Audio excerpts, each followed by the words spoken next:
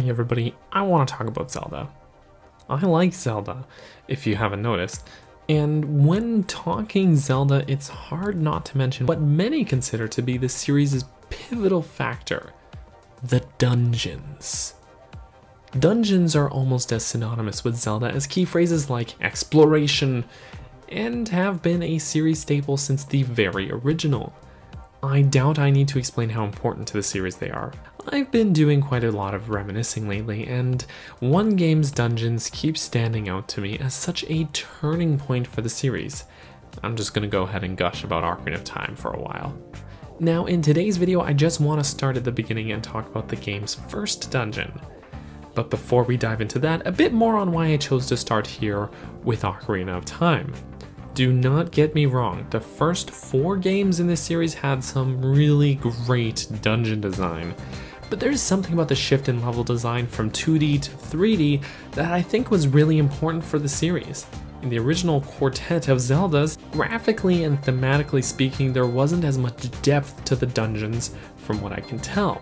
There is really fantastic level design here, don't get me wrong, but when looking at things like architecture, ambience, and in-universe lore, they don't carry the same weight. This is not a dig at the previous games. In fact, Link to the Past is one of my all-time favorite games and will always hold a special place in my heart. But objectively, Ocarina of Time really nails this concept better and had a long-lasting effect on the series as a whole. Speaking of objectivity, I'm just gonna say this as a bit of a disclaimer here that I am biased as hell towards Ocarina of Time.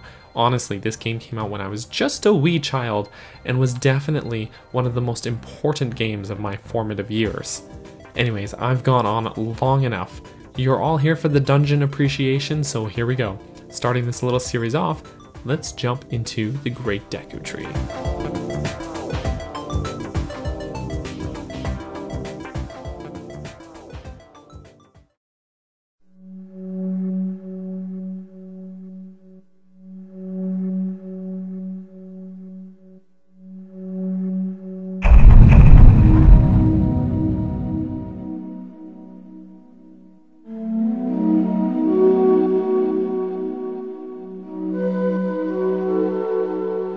Game's first level has a lot resting on it. It's a player's first impression and sets the precedent for the rest of the game. So it's important to get that first dungeon just right. Thematics, difficulty, story, teaching, these are all things that must properly be executed in order for a game's introduction to be successful. You have to sell your players on this game. I'm happy to say that Ocarina of Time accomplishes this pretty well. Now personally, I'm a fan of when a game just drops you right into the action. Breath of the Wild opens up giving you free reign over the Great Plateau. I have a video on that by the way, which is a large wide open space to let you learn the game. Majora's Mask begins with a literal chase. A Link to the Past brings you into Hyrule Castle to rescue Zelda, which sets the story up and gives you an action-packed intro dungeon. And Zelda 1 just drops you into the open and says, good luck! Meanwhile, games like Twilight Princess, Skyward Sword, and Wind Waker make you sort of do your chores before you can get to the first dungeon. Literally, in Twilight Princess's case. So as for Ocarina of Time, I think it's honestly a good balance between these two styles. You're not really dropped into the action, but the tasks that you have to complete before reaching the dungeon are really just equipping yourself with a sword and shield, which is fairly unintrusive for both new players learning the controls as well as for returning players trying to get through this section in a timely manner. I only mention this because for Ocarina of Time, the Deku Tree is still really your first impression of the game, while in a case like Twilight Princess, you may have been playing the game four hours before reaching the first dungeon, and for me, a veteran of the series, I hate that. In an otherwise stellar game, I'm here breathing a sigh of relief reaching that first dungeon and saying, oh, finally, I made it to the good part. Here in Ocarina of Time, that progression feels far more natural and you really step inside with a sense of wonder. By the way, that sense of wonder and mystery is aided further by Koji Kondo's amazing music. The man is a legend for a reason. He's a genius. The goal here was to give a more ambient atmospheric feel, and each and every dungeon in this game really nails that. While I think the dungeon music in the game's second act is much stronger musically, I can't deny the mysterious vibe that this track offers.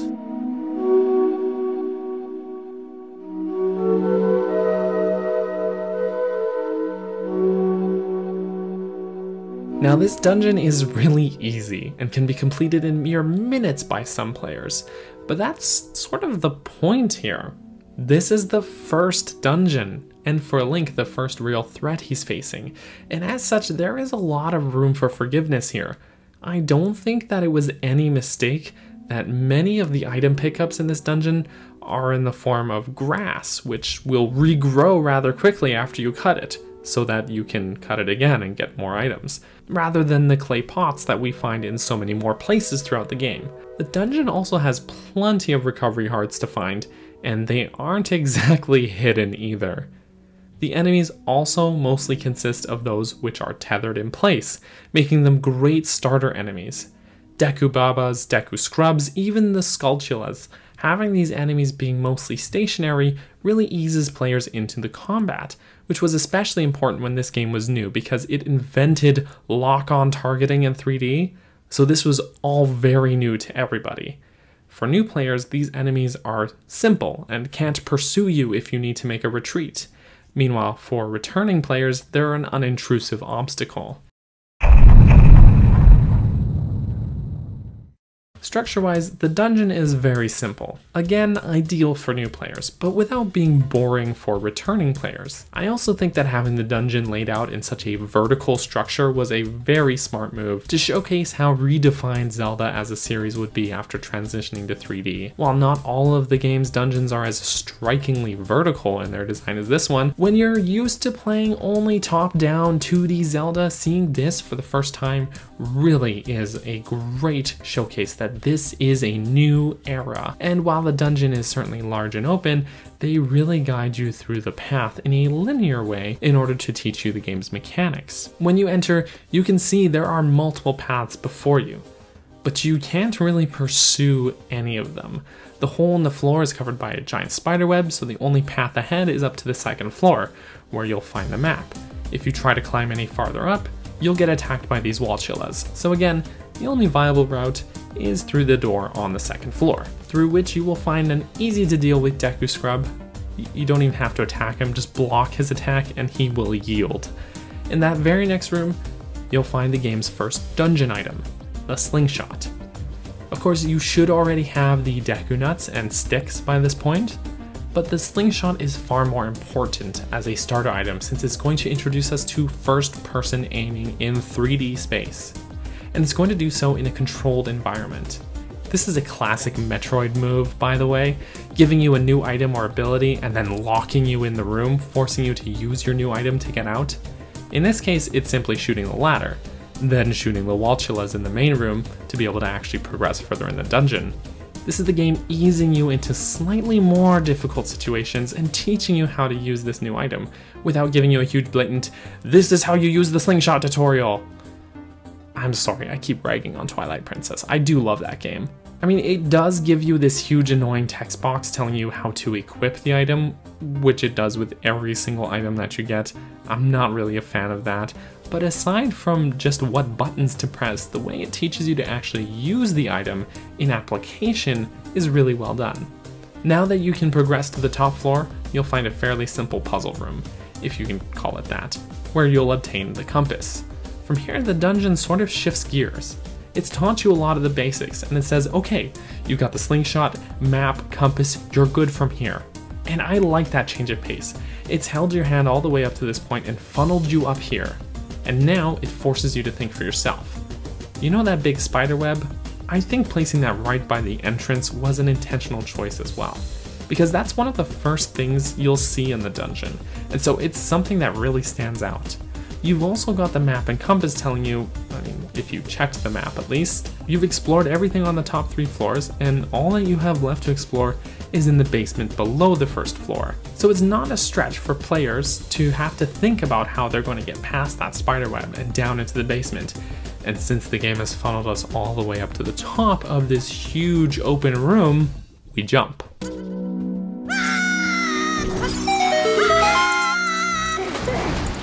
Thank goodness for the water to cushion our landing. The basement is really straightforward all in all. There's the illusion of branching paths in this first room once again, but you actually can't reach one of them, so there's only one way to actually go. And following this, there's a very small series of rooms with the mini puzzles. Again, staying true to the idea of making new players stop and think about operating in 3D space, while returning players can just zip through it quickly. I have always been mildly confused about how there's things like doors and operating machinery inside of Link's giant talking tree dad, but I don't know. I don't think Nintendo wants us to think about that too hard. Another thing that always bothers me is that there's this bombable wall here. Bombable walls are nothing new to Zelda, but putting it here in this dungeon before we can even get bombs forces completionists like me to return here and go to the very farthest corner of this dungeon just to get a single gold Skulltula. After making a loop through the basement rooms, you'll come back to that main water room where you fell in before, where you can now push a block to make a path to the torch, so you can easily burn that last spider web. Keep in mind when you first entered this room and activated that torch, it specifically showed it burning a spiderweb to give you this idea that you can come back here and use fire on the spiderwebs later. Hopefully you've also been paying attention to what the Deku Scrubs were telling you because you'll need to defeat these three other scrubs in the right order to get into the boss room. No big key for Little Link, unfortunately. Entering this boss room is one of those things that always stands out to me as one of those super cool moments in the game. It's cinematic in that opening cutscene, and this room really feels like a dark, dank, natural location, which makes sense because we're pretty deep underground at this point. And the idea here that you can't see the boss when you enter while it crawls around somewhere out of sight? Childhood chills, I tell you. Yeah, the dungeon boss doesn't come out swinging like other bosses in the series as soon as you enter the room. To initiate battle, you'll have to make eye contact with Gohma, which I feel pulls you into the world really well. That's immersion, you have to literally make eye contact.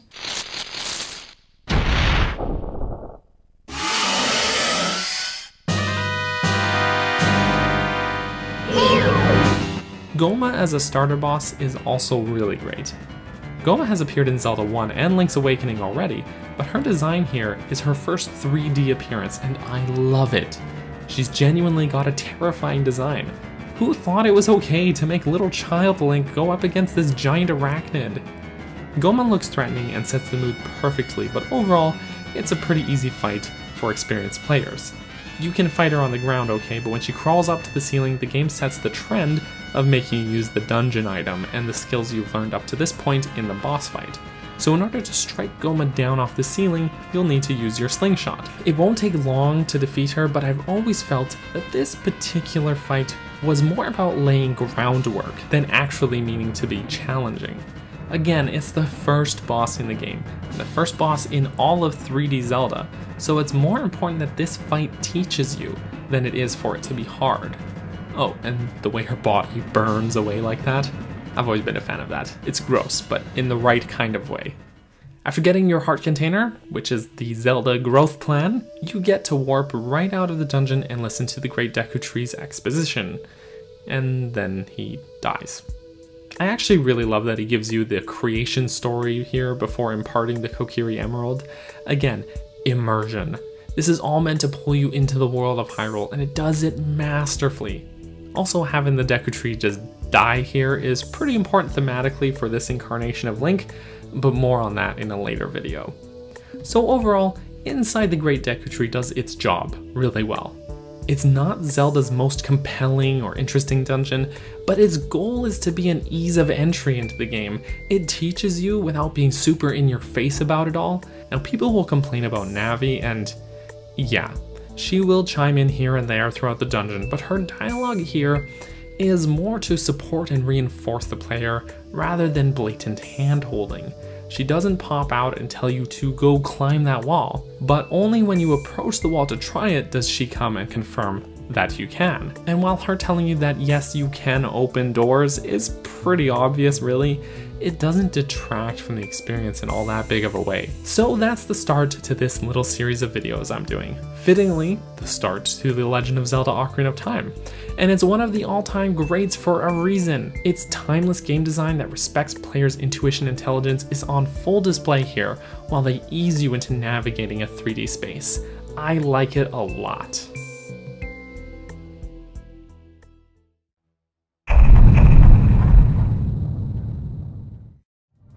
I think I take for granted just how much story, setup, and side content there is in between the first two dungeons in Ocarina of Time. After finishing watching your talking tree dad just die in front of you, you really get your first chance to step out of Kokiri Forest. Before leaving, we get this emotional scene with Saria giving us her ocarina. She's really Link's best friend, and she's very perceptive, somehow knowing that Link is off to face his destiny. She accepts this, but there is a certain sadness about this moment that I really appreciate. Finally, we get to set foot onto Hyrule Field and the feeling here of embarking on your- oh good god, not you. When you get to the lively, bustling castle town, you also have a good deal of side content available. One of my personal favorites is the shooting gallery here. You also meet Malon here, who is kind of important by the way. Finally, up to Hyrule Castle- no! Go away! Okay, finally up to Hyrule Castle, Malon will give us this weird egg, which we use to wake up Talon, her dad, and sneak right into Hyrule Castle to talk to Zelda. I really love this dialogue here with Zelda, especially how we learn that Zelda, like Link, has had premonitions in her dreams. Though while Link's dreams were almost like a small snapshot of a specific moment, Zelda's dreams are more symbolic and vague, with dark clouds, bright lights, and shining figures. She seems to have an understanding of what these events may mean, and the idea of these two kids conspiring like this feels like some kind of medieval fantasy John Hughes movie. I like it a lot. So she tells you about the Triforce, and we learn that our villain, Ganondorf, is planning to steal it. So the plan they hatch gather the remaining spiritual stones, since the Deku Tree already gave you one, you've only got two to go, and open the Door of Time and get the Triforce before Ganondorf does. So now we have an idea of what our actual goal is for now. Now again, I almost forget how much side content there is to do here. We can get an empty bottle in Kakariko Village, get ourselves the Hylian Shield, learn the Sun Song, find several Gold Skulltulas, and way more. Even the guard at the gate in Kakariko will initiate the mask trading questline. Anyhow, Getting up the mountain, we're treated further to some exposition with the Gorons. Darunia, in particular, is pretty peeved because, like the Deku Tree, Ganondorf has apparently been around town and is trying to extort the Gorons into giving him the spiritual stone. So after cheering Darunia up with some sick beats, you agree to help with a bit of an infestation problem the Gorons are having. This is all stuff to do before you can even get to the dungeon, but it's all important. It helps motivate you to actually do this stuff if you know why you're doing it. Alright, on to the dungeon itself. After blowing up this huge rock, we can finally enter Dodongo's cavern.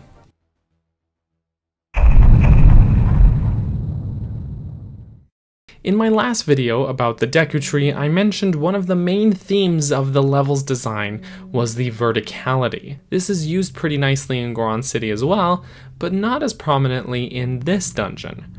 There's only two floors here, as opposed to the previous dungeon's four. It's still here though, but more so than the previous dungeon is this very real sense of interconnectivity in its design. The rooms crisscross each other and connect back in a way that really makes this dungeon feel more natural and real. It's linear in its progression, but in its actual layout, it essentially has rooms that all branch from the main central room, which makes sense considering this is not just any dank dark cave, but a quarry for the Gorons to mine for food. It's nice that the dungeon design reflects the in-universe lore behind it. Once more, the music is here to provide a great sense of atmosphere as well. There's not really much in the way of any discernible rhythm, but instead we have these eerie echoes and cave sounds.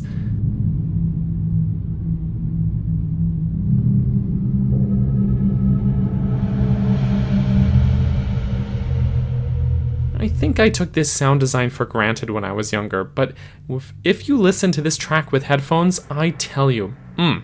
The big central room is a great room to have as the dungeon entrance. It's an awesome first impression of this dungeon and what it's all about. Also, having a bombable wall as the very first obstacle is a good move. Right before we got here, Darunia gave us the Goron bracelet, allowing us to use bomb flowers. Now we're in a room with nothing but a couple of these bomb flowers and a suspicious looking wall, so player intuition is well respected here. In the main central room we have the aforementioned branching paths, as well as a handful of bombable walls. Immediately on the west side of the room we can find the dungeon map behind one of these destructible walls. There's also some Deku scrubs who will sell you items, but they're not important. The door on the west side is locked. This tunnel is too high up for Link to reach, and so the door to the east is our only viable route. Also take note of the enemies we're going to encounter along the way here as well. Our first enemy is the Beamos, who is stuck in place with limited range, continuing the stationary enemy trend from the last dungeon. But that pretty well ends here in the central room. Immediately in the next room we encounter these little larva Dodongos. These guys aren't challenging, but they do actually move and come at you, Plus, they explode upon dying, so the game is nudging you into these more challenging combat situations. We also meet a couple of Keese in the next room who again are pretty harmless, but do require you to improve your aiming skills with the slingshot, or at least have good reaction time with your targeting. Entering the eastmost lava room, we get locked in and forced into a confrontation with two Lizalfos. They are a nice leap up in challenge from any previous enemies we've encountered up to this point. I think having these guys here who are more aggressive than any previous enemies, but also a little bit skittish, frequently retreating back and dodging your attacks, is a great way the game teaches you its combat mechanics in its show don't tell way. You can't button mash your way to glory here you have to block their attacks, wait for an opening to strike, and be quick. That said, they probably won't be overwhelming to anybody, since they are at least courteous enough to attack you only one at a time. Moving on, we get another rather simple puzzle room requiring you to light some torches, but there are some adolescent Dodongos in our way this time. Again, great enemies to show don't tell you the combat mechanics, and further hone your skills. They're pretty slow, but only vulnerable from the back, so you have to make sure you line up your attacks correctly.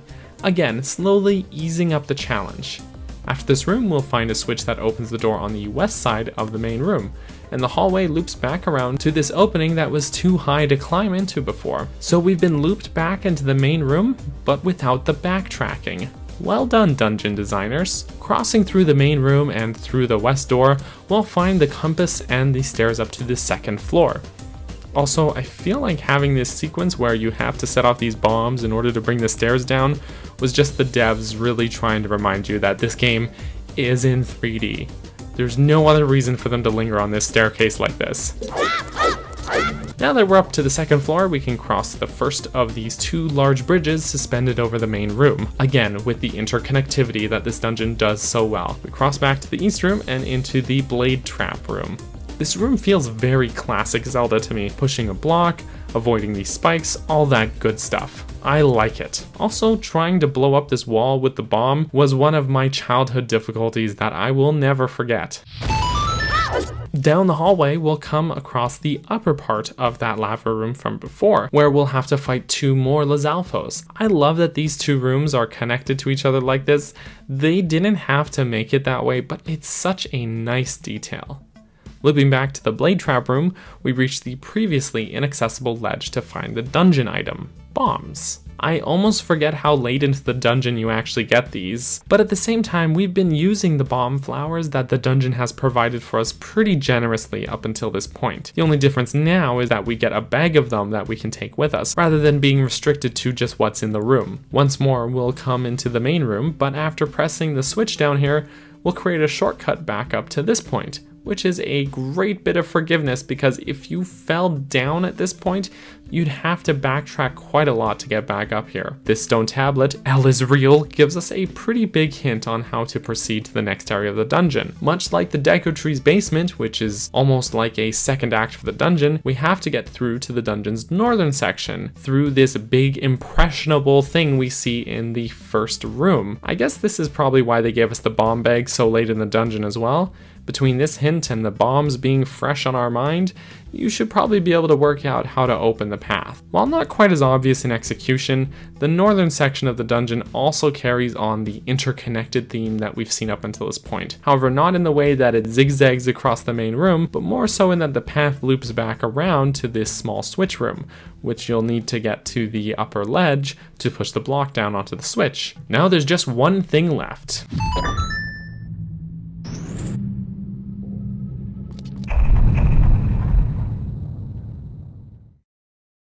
The reveal for the dungeon boss is far more cinematic and less immersive than the previous one. As soon as you drop in, you get this Jurassic Park vibe as massive footsteps approach you, and then the reveal of King Dodongo.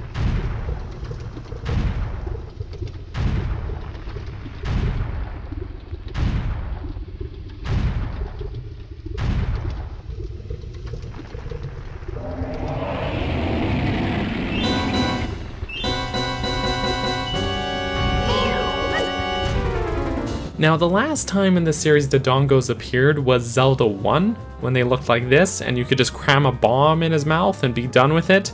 So this design is really impressive in comparison, though the concept art does it far more justice than the N64 really could. The vibe here is pretty good. This room's design limits your maneuverability by sticking this pool of lava here, and King Dodongo is so big he blocks almost the entire path, but this is sort of undermined by the fact that your shield is somehow so strong that he can roll right over you and you'll be just fine if you block. This fight also follows the trend set by the first dungeon in its pacing. You wait for your opening, use the dungeon item, then strike him with your sword while he's down. It's not a difficult fight at all, but hey, we're only in dungeon number 2, so I get it. Once he's defeated, he'll get all dizzy and try to roll away, only to fall into the lava, somehow cooling it. I don't really know how that works. But hey, here's our heart container and it's out of the dungeon for us. Once warped out, Darunia greets us and is so happy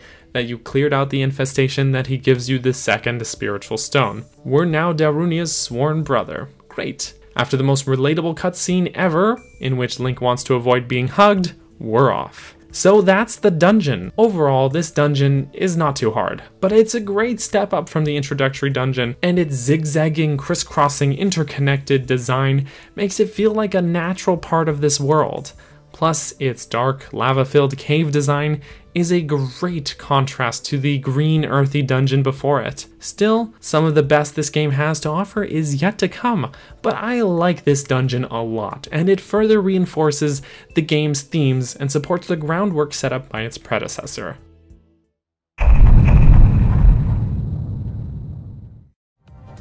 In Link's quest to find the three spiritual stones before Ganondorf can, in collaboration with Zelda, we have collected both the spiritual stones of fire and the spiritual stone of the forest. All that remains in order to complete the mission Zelda set us out on is to find the spiritual stone of water. I appreciate that at this point, the game is not as directly ushering us to where we need to go. After coming out of the last dungeon, Darunia will suggest we visit the Great Fairy at the top of Death Mountain, but we aren't directly told where the next spiritual stone is. Navi will also chime in and offer the suggestion that Saria may know more info, and you can ask Saria for a more direct hint if you want to, but other than that, no. The game instead leaves it up to you to find your way at this point. It's not hard to find where to go, however, because aside from the plethora of side quests you can do at this time, story-wise, most of the areas kind of have nothing for you.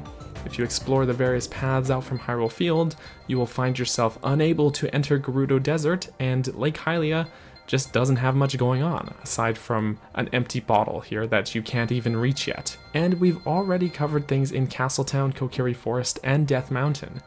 There's a ton more side content to do as well before we need to do the dungeon. As far as mandatory stuff to complete, our list here is much shorter this time than the last dungeon. A peek at the map will show us a little blip off somewhere we haven't explored yet, but that's about it. So you'll probably find yourself going up to the previously inaccessible trail to Zora's River, which we can now get through because of the bombs we have. But, oh no, not you again.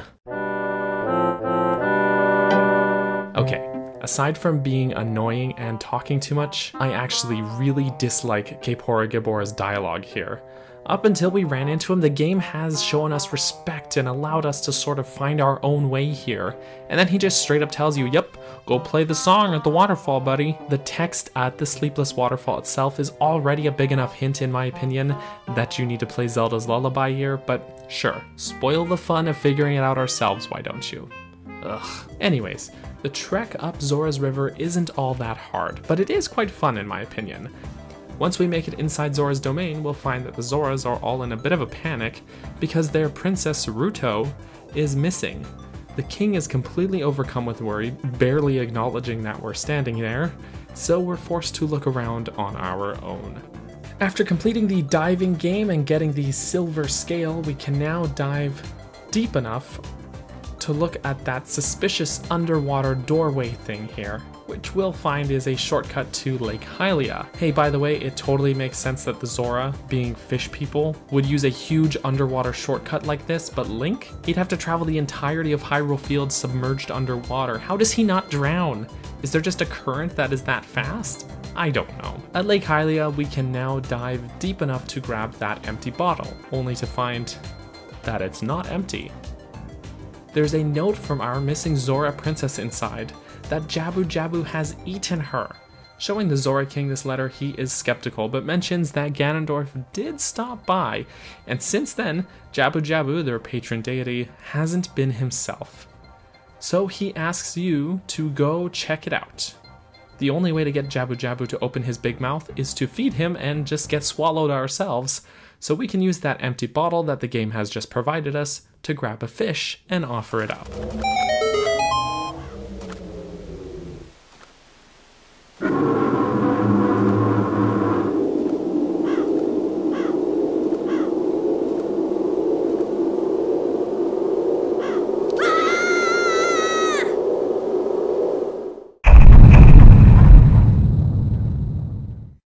So I mentioned that the last two dungeons felt like pretty natural, real parts of this world, but this dungeon's design exemplifies this even further.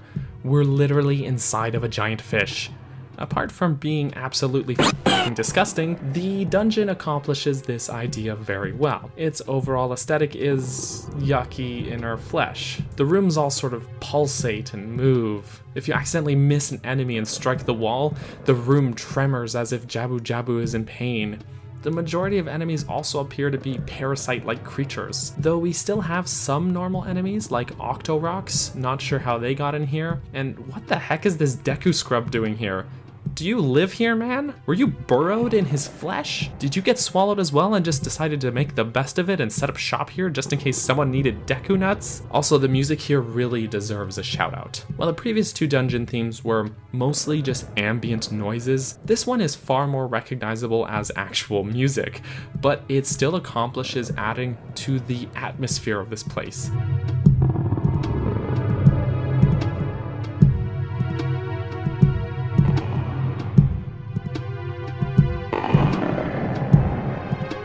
The beat sounds almost like it could be Jabu Jabu's heartbeat, and there's a bunch of sounds that could be like his stomach churning or indigestion or something. Again, conceptually, I find this all really gross. But that's exactly what they were going for, and they achieved this really effectively. Since we have to get gobbled up in order to enter the dungeon, it makes perfect sense that the entrance room is Jabu Jabu's mouth. Already the threat level is amped up here from the previous two dungeons. In the first room of the Great Deku Tree, the only enemies you'd find were these Deku Babas that were stationary and could only attack you if you engaged with them first. When entering Dodongo's cavern, we just have a room with a bombable wall, so no enemies, just a simple obstacle. But here we are immediately accosted by two Octoroks who pop up and try and shoot you. They're easy to dispatch, but this definitely sets the tone of danger here. There's very few rooms in this dungeon where something isn't there to hurt you. After defeating these guys and these bubbles, sorry, not those bubbles, I mean Shaboms, we'll have to hit the switch on the ceiling, which, is it Jabu Jabu's uvula?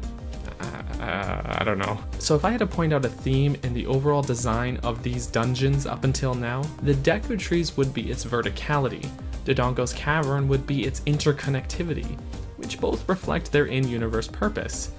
Here it's a little harder to nail down. Instead of crisscrossing or ascending a central room, the dungeon's design is filled with hallways and branching paths. But this makes sense because we're also inside of a giant fish, not climbing a tree or exploring a quarry. So we don't really have a big central room per se. The room with the holes in the floor, which I'll be calling the pitfall room, is probably the closest that we have, but even then most of the paths don't actually branch off from here in the same way as they did in the previous two dungeons. Also, with all of these branching hallways, most of the dungeon is actually pretty accessible from the start, but you'll find that there isn't much you can actually do in most of the rooms at first. Usually because of some slimy tentacle in your way. Gross. So in this way, I like to imagine the dungeon as a tangled headphone cord. Just bear with me. Imagine you have a tangled headphone cord. The entire cord is visible and there. You can touch it and but you have to find the starting point and slowly unravel it from there. Even though you could reach into the middle and just prod at any one part of the cord, it's not going to do you any good. So you have to slowly unravel it from one end until you've got the entire cord loose. It's a loose metaphor, but you get it, right? Rather than the dungeon being a series of rooms with small puzzles, the entire dungeon is more like one larger puzzle itself. So if you avoided the detours, you should quickly find yourself face to face with our missing princess. Ruto here is pretty rude actually. She's really ungrateful and annoying. After talking to her, she'll be very dismissive of you and immediately fall through one of the room's pits into the room below. She's fine though. She tells you that she usually comes to feed Jabu Jabu, but something seems to be wrong with our big fishums here. She is also worried because she lost some precious stone of hers inside of Jabu Jabu's belly, and won't leave until she finds it. There's a kidney stones joke in here somewhere, right? So from here, you have to literally carry her around the dungeon, which does sound annoying, but she happens to be the game's most powerful weapon. You can just throw her at enemies and you'll be able to kill most of them in one shot. She doesn't even seem bothered by it, or hurt, which is great because a lot of these enemies will actually hurt you if you try hitting them with your sword. Side note, but I've never understood why if Ruto gets submerged in water, or, or whatever bodily fluid it is, she just vanishes and respawns in the first room you found her in. She's a Zora. Water shouldn't be an issue for her, but oh well. Anyhow, bringing her back to the upper level and through the pitfall room, we'll find this set of branching hallways. At first, only two of the five rooms are unlocked. One has this giant parasite tentacle thing that you can't kill, and the other has a bunch of these stingers, which are pretty easy to deal with using your slingshot. Here we'll find the dungeon item, the boomerang. The boomerang is sort of a Zelda staple, and it retains its ability in this game, not only as an offensive weapon, but as a way to fetch items that are out of reach. Now that we have the boomerang, things start to unravel more easily for us.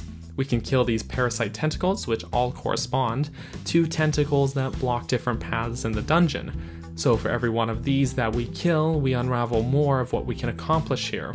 Working our way through the four remaining rooms, we'll find both the map and compass.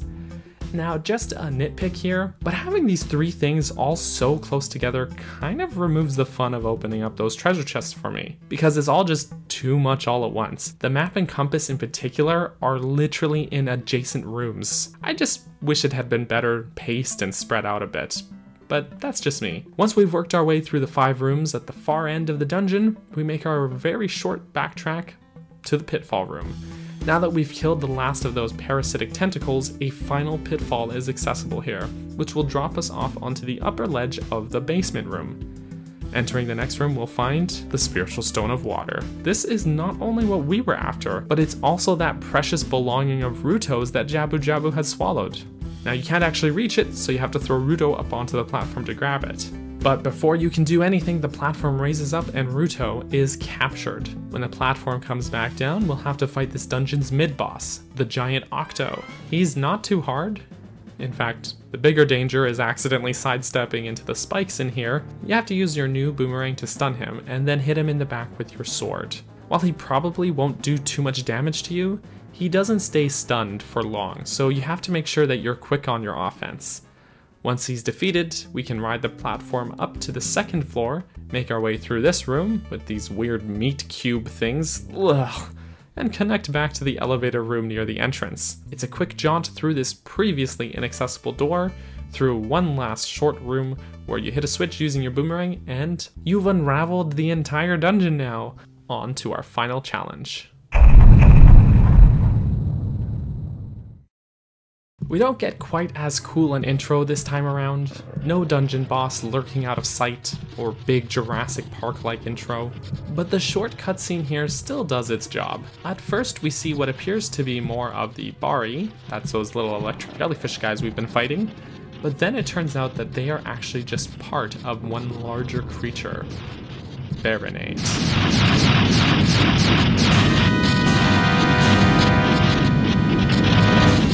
Unlike Gohma and King Dodongo, Barinade has not appeared in any previous Zelda games, and his fight here is a real shakeup from what we're used to so far. Barinade seems to be some kind of parasite with tubes latched onto and feeding off of Jabu Jabu. This fight is actually very fun in my opinion. The pace here is totally different from that of the previous two bosses, because Barinade is far more aggressive. He doesn't seem to waste time sort of milling about like the previous two bosses. You have to keep moving because Barinade will constantly attack you with either its electric blasts from its weird tubey things, or by sending out its jellyfish minion to get you. You'll need to first get it off of Jabu Jabu by slicing its tubes with your boomerang, but doing so doesn't make him less offensive. In fact, he'll then start using his spinning attack and rush at you. You can also kill those jellyfish if you want in order to stop Barinade from being able to use them.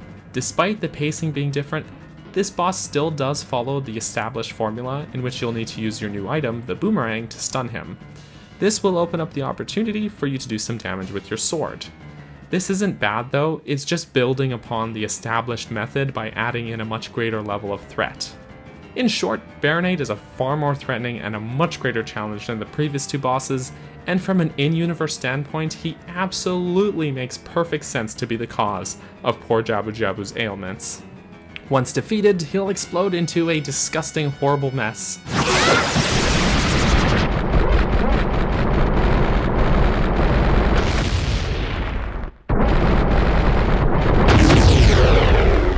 Gross. We'll get our heart container and find Ruto safe and sound.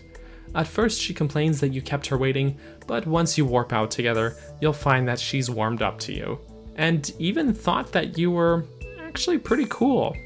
Though it goes right over Link's head that it's a sign of engagement for the Zora, Ruto will give you the third spiritual stone. So that's the dungeon. Overall, I really like the layout and design of this dungeon. Rather than being a series of rooms with smaller puzzles, the dungeon design itself is like one larger puzzle to unravel. Though its aesthetic is in my opinion completely horrible and gross, that is just a testament to how well they accomplished what they were going for.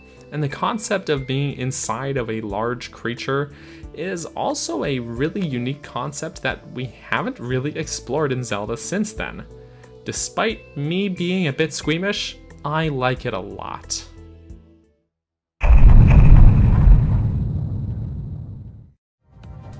So here's the story so far. After both Link and Zelda had premonitions about Ganondorf basically being the worst dude ever and having intentions to get his hands on the Triforce, which he'll use to conquer Hyrule, Zelda hatches a plan with Link. She will protect the Ocarina of Time while Link gathers the remaining spiritual stones, which are the keys to accessing the Sacred Realm where the Triforce sits. Having achieved that by way of completing the previous three dungeons, we set back to meet Zelda at Hyrule Castle. However, as we approach the castle gates, Link's nightmares unfold before him. A storm swells up in the skies above him, the gates to Hyrule Castle Town lower, just in time for a white horse to gallop away. Riding the horse is Impa, clutching the Princess Zelda tight. Zelda, seeing Link, makes a last-ditch effort to help him by throwing some object his way. It lands in the water behind him, and the horse carrying Zelda disappears out of sight. Just then Link feels a presence from behind him. It's Ganondorf atop a dark horse. This is the same guy we saw in the courtyard with the evil eyes that Link and Zelda have both had nightmares about.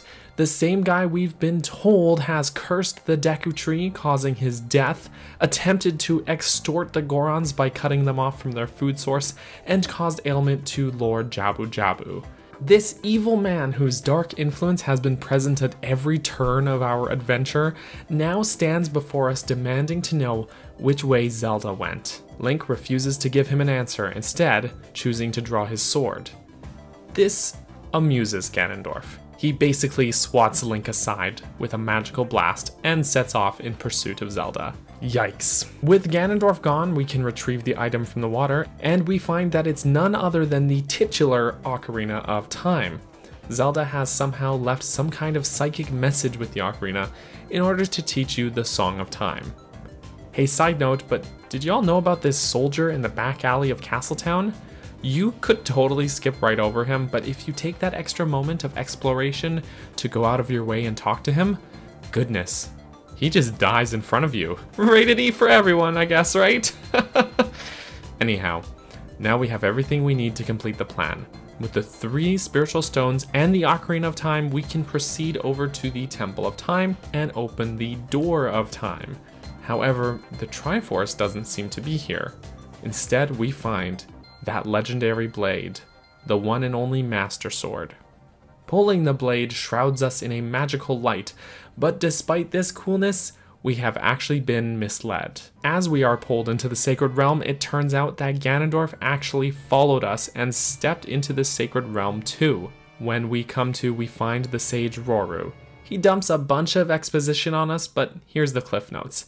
As it turns out, Link was indeed the chosen hero of time. However, he was, for some reason, not old enough to actually wield the blade. So, it sealed his soul in the sacred realm for seven years. Now we are old enough to hold the powerful blade, but that seven year time gap has given Ganondorf more than enough time to conquer all of Hyrule. Our only chance of defeating him is to go awaken the other five sages at the various temples around Hyrule. Returning from the Sacred Realm back to the Temple of Time, we meet Sheik, a member of the Sheikah tribe. Sheik will give us a clue as to where we can find the temples but gives us the hint to head over to Kakariko first to find the hookshot. Otherwise, we won't be able to even enter the first temple. Also, I have to mention this, the state of the world here is demonstrated really well in this moment. Even before we leave the Temple of Time, the lighting is darker and grimmer feeling than when we came in. But when we actually emerge back out to Castletown, we find it completely in ruin and taken over by Redeads. This sight is something that has just always stuck with me as being among the best moments of world building in Zelda. It was only moments ago that we stepped out of the bustling Castletown market only to find this horrifying sight. It just gives me chills. Moving on, after racing the now deceased Dampé's ghost, we will get the hookshot and be able to head to the Forest Temple. Navi may also chime in saying she's worried about what may have happened in Kokiri Forest during our seven year absence, which is fair considering Look what happened to Castletown, a guarded place with soldiers. Heading into the forest, we'll find things aren't looking good for the Kokiri either were immediately attacked by enemies in this once peaceful village, and all of the residents are hiding in their houses out of fear. Even though these are really simple enemies like Deku Babas and Scrubs, the Babas are huge compared to the ones we've faced up until now, especially considering Link's increased stature. Hey, can I mention that as much as I like this segment where you're sneaking around this maze, the Moblins here have some of the dumbest enemy AI in the entire series. Anyways, heading over to where we first found Saria seven years ago, we find that she's missing. If we play Saria's song to try to communicate with her, she'll say that she's relieved to hear you're okay, and that the forest spirits were calling for help, so she's headed off into the forest temple. So now that we have the hookshot, we can ascend up to the previously out of reach ledge and actually enter the temple itself.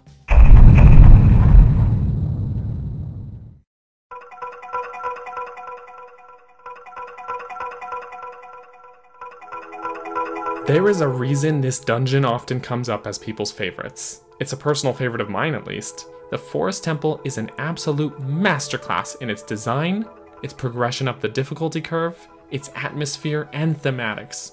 While all three of Child Link's dungeons felt like pretty natural, real locations in this world, this one stands out from everything we've seen up until this point. Rather than a giant tree in the forest, a cave in a mountain, a fish in the river, which are all pretty logical locations, we instead find what appears to be an abandoned fort or castle, mansion, or some other structure hidden at the very back of the Lost Woods. A fortress with brick, stone, and even carpet, lost to time, becoming overgrown and retaken by nature, while spirits still wander the hallways. While not as natural in its design, the mystery and stark contrast in this design choice makes its atmosphere even better in my opinion. It's also impossible not to talk about this dungeon's music. The Forest Temple theme is absolutely perfect to me.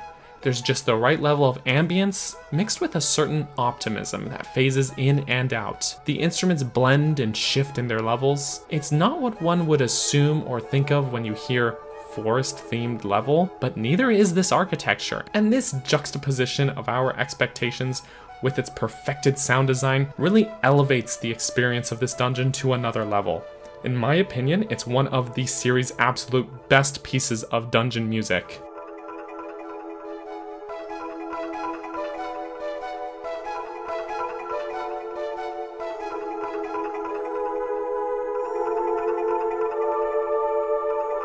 This dungeon is also a step up in difficulty, which is particularly great for Link's overall story. Since this is our first outing as adult Link, now wielding the legendary Master Sword and trying to save the world from a ruthless and evil ruler, it makes total sense that the enemies and puzzles we'd face in here would be in another league from everything we've seen before. Entering the foyer, we are immediately ambushed by two Wolfos. Up until now, we've only been forced to fight a Wolfos once as Child Link, that was a single Wolfos and was treated almost like a boss in its own right. But having to take on two of these guys simultaneously right off the bat like this is sure to test your mettle.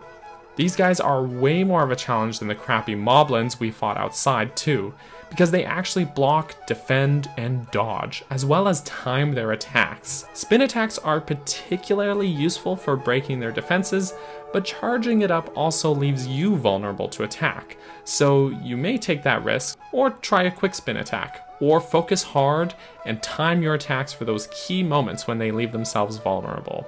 Once they're defeated, you can make your way to the next room, but first you have to make sure you inspect every nook and cranny of every room because it may be very easy to walk through that door and miss out on the key that is hidden at the very top of the foyer room. Up until now, there has been no keys hidden in the dungeons, so unlocking doors has usually come down to finding a switch or completing a puzzle. Now, if you aren't using your big old brain and looking hard enough, you can come full stop to a locked door that you can't pass through. So you have to keep in mind not just the room at hand, but the dungeon as a whole bigger picture in order to progress. And it's absolutely essential that you be curious and explore everywhere you can. Otherwise, you just may find yourself stumped at a dead end. This dungeon also combines two elements from the previous two dungeons designs that I thought worked really well, and bloody well perfects them. We have in its layout the wonderful interconnectivity that Dodongo's Cavern first showed us, as well as the unraveling style progression on full display in Jabu Jabu's belly. Now here's how this dungeon accomplishes that. Proceeding through the foyer and past the hallway where we can easily dispatch this Skulltula thanks to the new hookshot we have, we come to the central room. In this central room are doors that all connect to pretty well the entirety of the dungeon, so six paths total before us. Four Poes appear and remove the flames from those torches and disperse themselves to the various parts of the dungeon. When they do so, the central elevator, which happens to lead to the boss room, is closed off. So that eliminates one of the six paths immediately. The door to the east is on a ledge too high up to reach, the door to the northeast is locked via an eye switch, which you can't activate yet. The door to the west is also locked. The door to the northwest is blocked by time blocks, and so the door to the north is the only truly open path. However, you can play the Song of Time to remove the time blocks and open the northwest door, and if you nab that key in the foyer, you can unlock the west door immediately. However, that's not necessarily the best order for you to tackle these things. The game has left that north door open and ready for you to head into, so I always felt like this was a pretty strong hint as a starting point particularly because through that north door is one of the only sort of one and done paths that doesn't progress you much. Heading north will encounter a pair of Stalfos who, like the Wolfos before, are a great challenge for combat. Best these guys and you'll score a second key. From here, if you decide to head into the west room, you'll end up hitting locked doors. You'll actually need three total keys to progress down that path. So the next best option is to head into the northwest door, by removing those time blocks. Through here, we'll find the first courtyard room. There's a well here that we can't do much with, and so the only way to progress is by scaling the vine wall at the far end of the room and heading through the door. This brings us to a small adjoining room which contains the map. The adjoining room bridges the upper levels of the two courtyards, so heading through the next door logically brings us out onto a balcony in the east courtyard which mirrors its western counterpart. You can use your hookshot to zip over to another balcony, where you can press a switch to drain the wells in both courtyards, which as it turns out are connected via this lovely brick tunnel. Here we'll find our third small key. Now that we've gotten the map, explored a fair amount of the dungeon, and gotten our keys, it's time to head back through the central room, spend one of our keys to unlock the western door, and ascend upstairs. In order to get up to the second floor, we'll have to complete the sliding block puzzle room. The puzzle for progressing here is pretty simple, but I like that it forces us to use these blocks to build our own path up through this room, which is great as a puzzle on its own during your first trip through this room, but also means that if we have to backtrack through this room at any point, say, for example, if you missed one of the keys earlier, then you can quickly climb up through the blocks you've arranged in here, rather than doing the puzzle over again. Now that we're at the top, we'll spend a second key to enter the first twisted corridor. As if the mysterious ghost-filled abandoned fort vibe wasn't cool enough already, the play with physics here is pretty impressive. Also, take note of that ornate treasure chest on the wall in this room. We'll come back for that soon. Passing through here, we'll spend our third key and find ourselves in the first portrait room. You'll notice the first of the four Poe sisters, Joelle, hidden here inside of the portraits on the wall. If you approach her, she'll vanish and hide in one of the other portraits. So we can't do much here except for head down the stairs and into the next room. We'll find ourselves ambushed by Stalfos once again, and directly above the northern Stalfos room from before. So don't fall down the hole in the floor, or you'll have to backtrack quite a bit to get back up here. For some reason, the Stalfos can just walk on the air here, figure that one out. Defeating the pair here brings down a platform with reinforcements, so we'll actually have to defeat four in this room total. Doing so will net us this dungeon's item the bow. I have to say having both the bow and the hookshot this early on is wonderful. Now that we have this, we can use it to fire at the Poe sisters hiding in their portraits in either direction from this room. Doing so will draw them out into the open where we can fight them head on. Defeating Joelle from before will get us another much needed key and moving forward to defeat the second Poe sister, Beth, in the next room will get us the compass. But we can't progress further east this way, so we'll need to make a very short backtrack using our new bow to hit the eye switch we passed earlier in the sliding block room in order to untwist the twisted corridor and nab the boss key from that ornate chest we saw before. Untwisting this room also opens a new path here, which will take us out into the upper ledge of the western courtyard from before, where we can nab another much needed key. The next door loops us back around the block room, so we can quickly get back up to the second floor while reducing backtracking to the central room. Retwisting the corridor and passing through both portrait rooms takes us over to the second twisted corridor, except it's not twisted yet. So we'll need to carefully hit the switch in the next room to twist it up, which opens a path just like in the western equivalent. Carefully passing through the checkerboard room with the falling ceiling, watch out for that by the way, we'll find a small puzzle with some push blocks, which will take us right into our confrontation with the third Poe sister, Amy. After defeating her, the next hallway brings us up to that out of reach eastern door in the central room, where the final sister Meg waits for us. Meg is our final combat challenge before the boss. Meg's fight here is different from that of her sisters. She'll make duplicates of herself, and you'll have to make sure to be precise and only hit the real one. It won't take long to take her down, and with that, the central elevator rises, and our final path is open.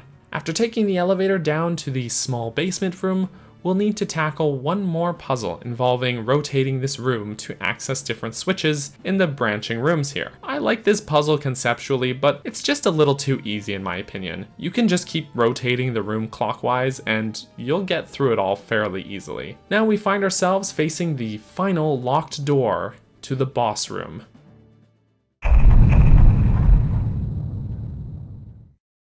When you first enter the boss room and ascend the stairs up to the central platform, you'll find the room to be empty. Paintings adorn the walls on all sides and the carpet sports an ornate design, but otherwise, there's nothing really of note here. It's not until you try to leave that you'll be suddenly locked in. The music cuts out and Link hears the familiar sound of a horse behind him. Turning, he'll be met with a familiar sight, Ganondorf, on his horse, just like from seven years ago, Except it's not really Ganondorf himself. This is Phantom Ganon, an evil spirit created by Ganondorf in his own image. Talk about vanity. Like Barinade, this fight is broken into two phases. The first phase sees Phantom Ganon hiding in the paintings, just like the Poe sisters, but he'll pop out to launch an electric attack that has a huge radius of damage. Little known tip though, if you stand on one of the Triforce symbols in the corner of the arena, you'll be just barely out of reach, and you won't have to worry about his attacks. You'll need to use the dungeon item, the bow, to hit him as he's transitioning between the painting and the room. After hitting him enough, his horse will ditch him and leave him stranded in the room. At this point, he'll use his trident to launch energy balls at you. Navi will tell you to answer his attacks with an attack of your own, which, although a bit vague, is a decent enough hint that you can use your sword to deflect his attacks back at him in a classic match of Dead Man's Volley. You may find yourself deflecting a single attack back and forth quite a few times, its speed increasing with each strike. This is thrilling. I never get bored of this. If you manage to hit him with his own energy, he'll be grounded and open to attack. So make sure to seize the moment and rush him with some sword strikes.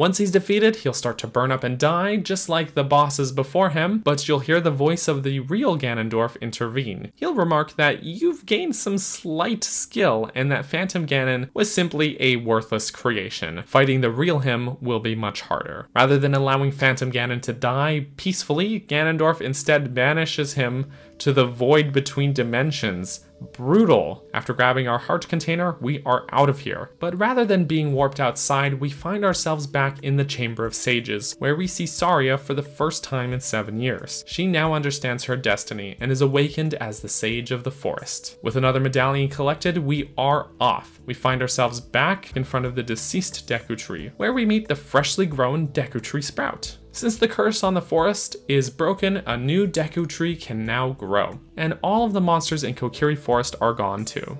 He also tells us that the reason we have aged and grown up while the rest of the Kokiri remained children is because, well, Link is a Hylian. He's not a Kokiri. He was orphaned and raised among the Kokiri children as one of their own. With that exposition out of the way and the threat eliminated from the forest, we're off. So that's the dungeon. Overall, this dungeon has some of the best atmosphere, a wonderful balance of combat and puzzle solving, and the perfect marriage of interconnectivity in its layout and the unraveling linearity in its progression. It's optimistic when it needs to be, it's spooky and dangerous when called for, and most importantly, it's just the right amount of challenging. It implements design ideas that future dungeons and even later games would take notes from, and balances this with unique concepts that we've only seen here. My one and only gripe is that that northeast door from the central room is actually completely pointless because you'll both enter and exit that connecting room through different doors already. So there's actually no need to ever have that door there aside from making the dungeon more symmetrical in its layout. But aside from that one super tiny thing, this dungeon is darn near perfect in my eyes. This is not to say that the other dungeons are bad. In fact, we've still got some great ones ahead of us, but this one has always been among my favorites.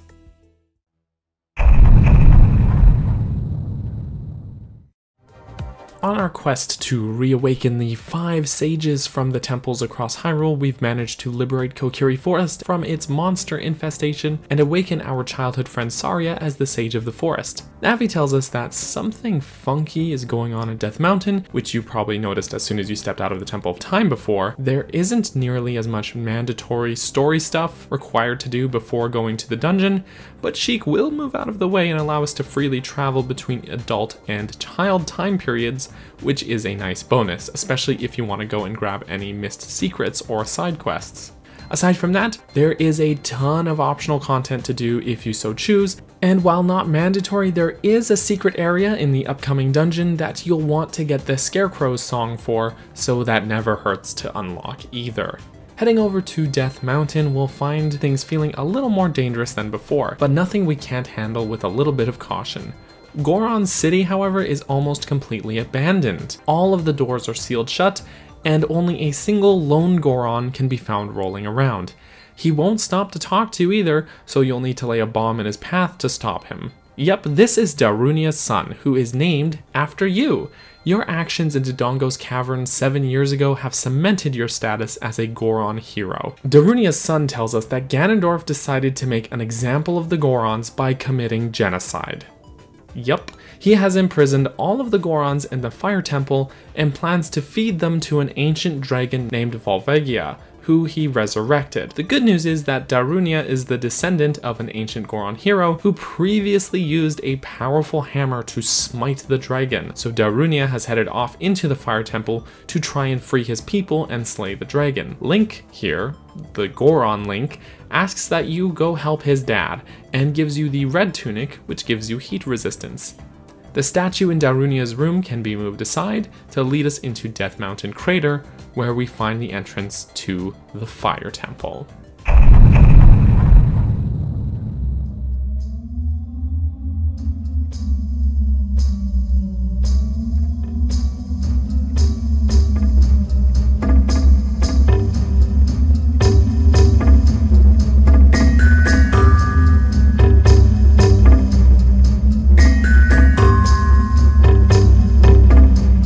The Fire Temple is a place of worship for the Gorons, but has been taken over and repurposed by Ganondorf.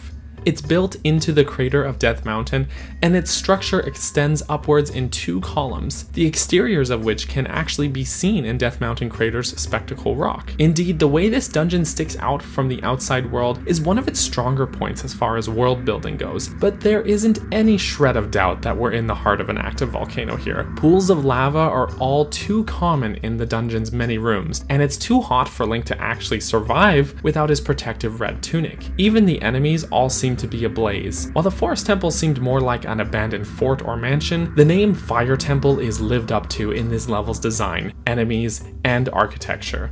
This is pretty believable as an actual temple. The music here is pretty spot on for this level's atmosphere as well. The track fades in with a drum beat, which makes a lot of sense since Goron culture has a pretty strong connection to its drums. In fact, it sounds almost like it could be the same MIDI drum sound that they used for Goron Link in Majora's Mask.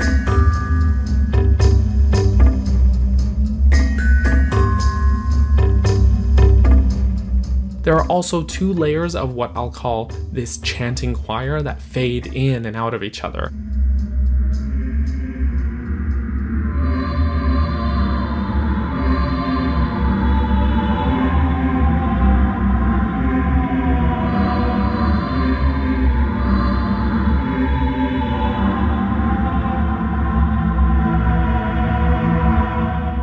First this song felt a bit too generic dungeon to me, listening to it again, I've grown fond of it actually. It's not as complex as the Forest Temple theme, but its Goron style drumming and choir layers make perfect sense for what this dungeon actually is. I also just have to quickly mention that I do not have the version 1.0 cart of this game. The version I have has the updated Fire Temple music, but if you do have a version 1.0 cartridge, you'll notice that the chanting is quite different.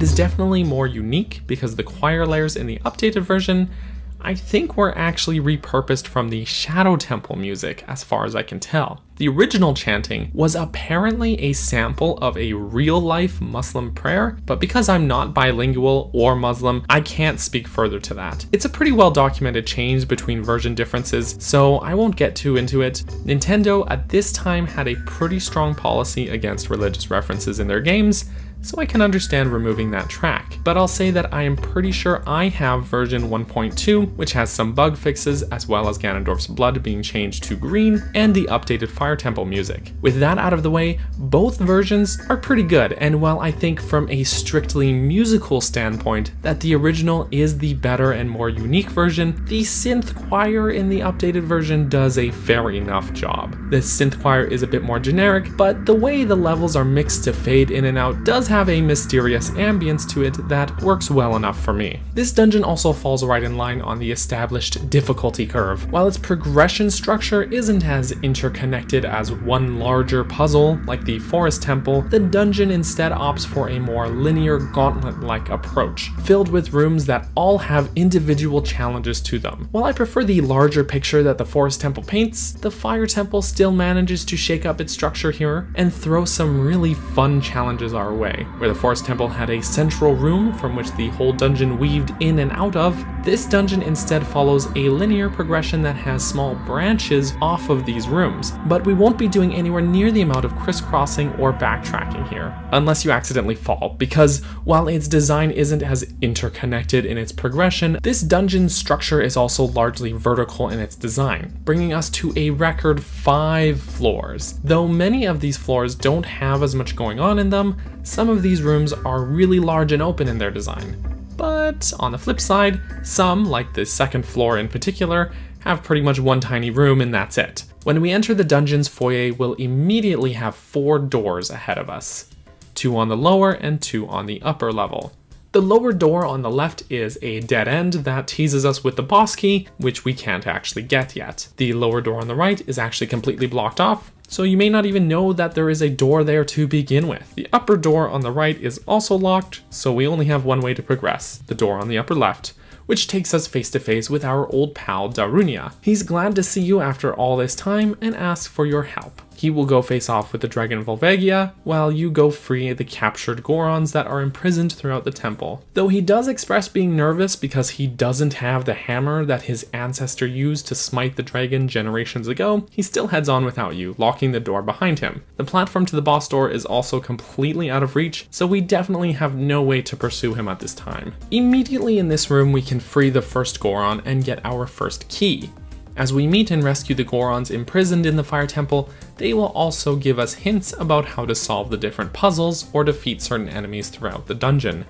Though most of their hints are basically just to use bombs on stuff, so thanks tips. Now that we have the key, we can head back through the locked door in the foyer and into the closest thing that this dungeon has to a central room. If we cross this room and try to proceed forward, not unlike the Forest Temple, you'll get stuck on two locked doors, so make sure to free the trapped Gorons on both ends of the off-shooting rooms here, so that you can also get the keys from those rooms.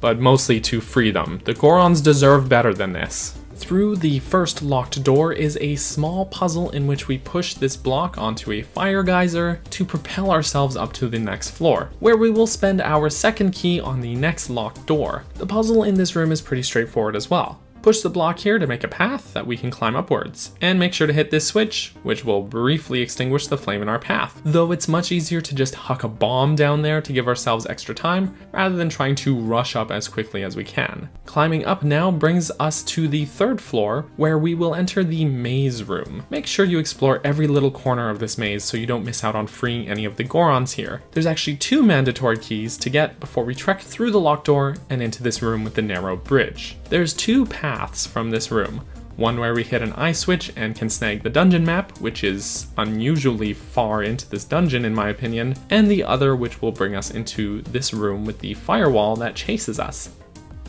It's not hard to outrun this thing at all.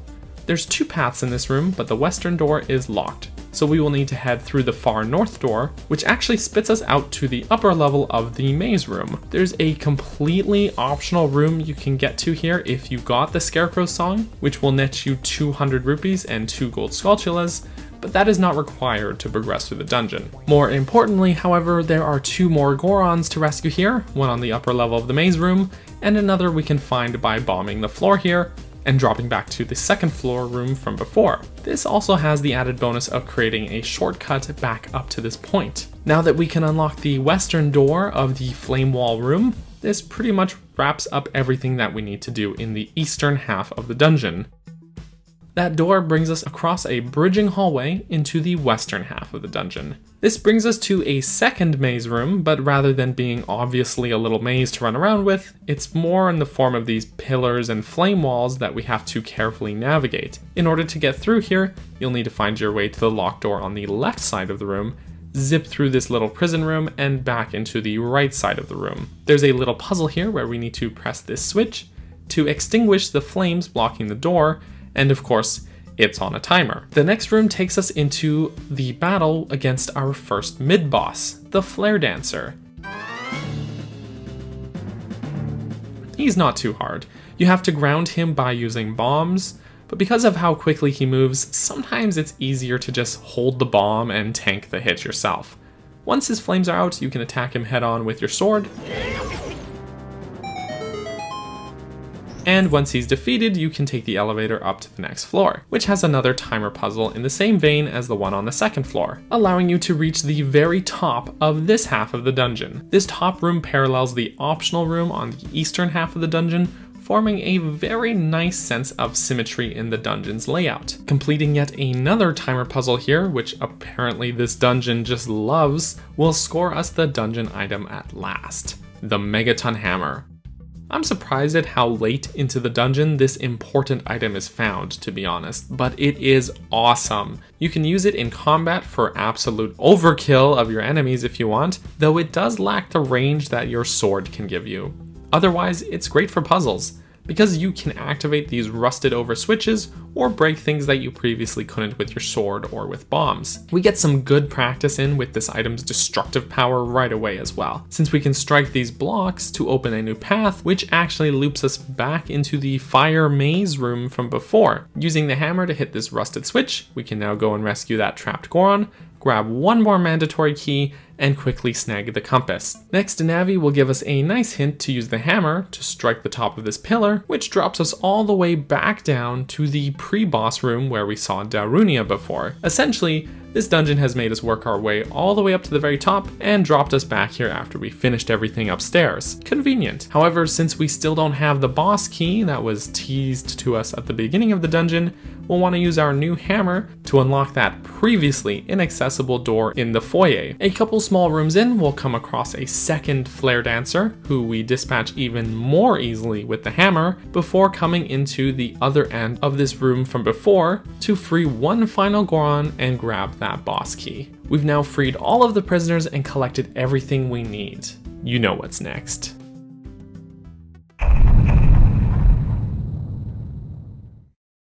When we enter the boss room, Darunia is nowhere to be seen. As soon as we set foot on the central platform, the room will shake as our enemy appears before us. The subterranean lava dragon, Volvagia.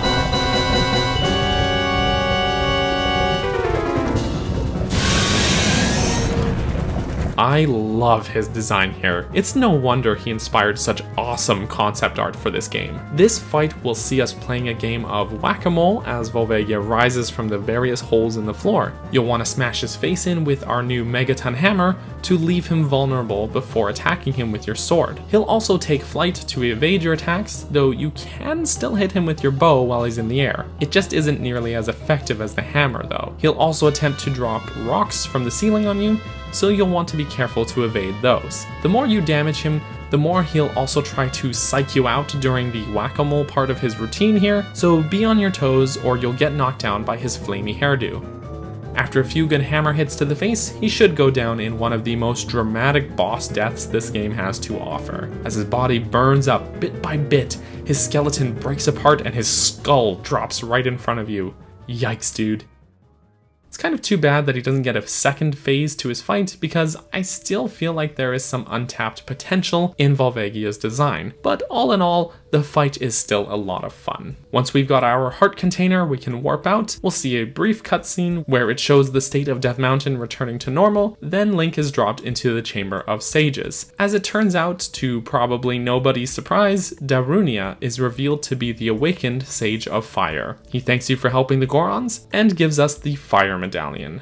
Two down, three to go. So that's the dungeon. Overall, if I had to sum up its progression, the Fire Temple brings you up higher and higher up a gauntlet of challenges until you reach the top where it will drop you back to the beginning in a large sort of loop. While I personally feel like there may have been some concessions made in its design, namely this huge optional area which you need to get the Scarecrow song for, which your average player probably wouldn't have known to go out of their way to get from Lake Hylia, there are still some great design choices here. This dungeon pushes us through a gauntlet of smaller, fast paced challenges in nearly every room in ways that we haven't seen much of before now.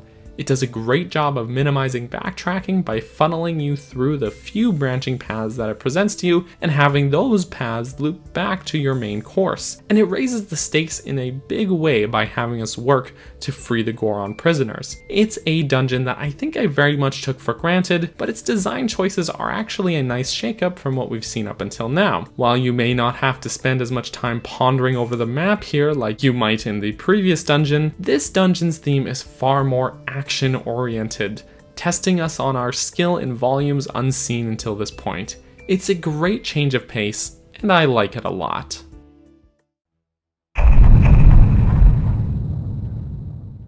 Next on our list is the Water Temple. But there is some important stuff that we need to do before we actually get there. Navi will hint at an arctic wind that's blowing from Zora's domain, but honestly, so far as Adult Link, we've just been retracing our steps and entering dungeons that are more or less in the same sections of the map as the dungeons we went through as Child Link. So it's not exactly a leap that players would think to go back to Zora's domain to see how things have changed over there. Upon entering Zora's domain itself, we'll find it entirely frozen over. The Zoras themselves are trapped below the ice, though we don't really see them, and the king is frozen in a strange form of red ice. If we walk on past him, we'll find that big fishy Jabu Jabu is actually nowhere to be seen, and there are these huge ice chunks floating in the water. By following along these platforms, we can find the entrance to the ice cavern. Yeah, okay, so let's back up a moment here. This is not the water temple, but rather a mini dungeon that we need to complete before we can actually get to the real next dungeon. I considered doing a video on just the ice cavern, but let's be honest here. It's frankly too small and simple to warrant a full-length video. It's better to just include it in this section of the video anyways, as having these sort of mini dungeons is pretty well how the pace of the rest of the game is going to go anyways. As far as the atmosphere goes, this place is pretty eerie. It's always reminded me of that scene from Empire Strikes Back where Luke gets captured by the Wampa on Hoth, but I digress. The music, of course, matches perfectly. There's something about this instrumentation that gives off a sort of ice crystal resonation in my head. It just fits perfectly. Progressing through here is pretty simple, but that makes sense for this being the mini dungeon that it is. Down the entrance hallway we'll fight a couple of Freezards in this round blade trap room before proceeding down another snowy hallway to the central room. There's three paths to take from here, but two are blocked by red ice, so all you can do is collect these silver rupees to unlock the door on the eastern end of this room. Taking the hallway down here gives us the map and a source of blue fire, which we can use to melt the red ice. For this reason, I recommend having gotten all four empty bottles already to minimize backtracking, though there's already a fair amount of these blue fire sources anyways, so you'll be fine even if you don't have all the bottles. Since we now have blue fire, we can proceed through the other two paths in the central room. The path to the south will give us the compass, and the path to the north will bring us to the sliding block puzzle room, where we will need to collect more silver rupees to unlock the door here. Once we've collected them all and the door is unlocked, we can proceed to the final room where we will fight the closest thing this dungeon has to a boss, that being a white wolfos. By now we've fought our fair share of challenging enemies, so you should be able to take him on pretty quickly.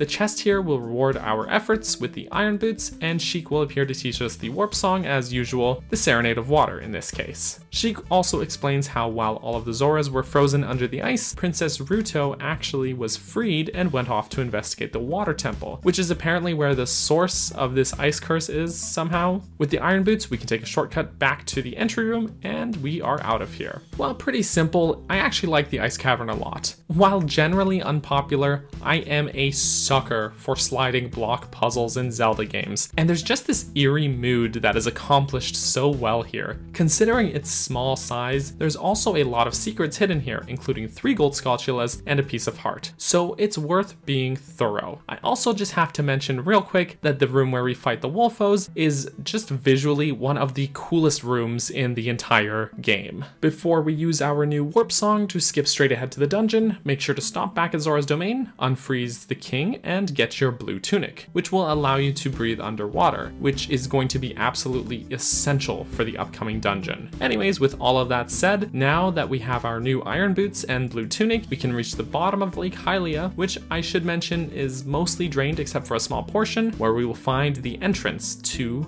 the water temple.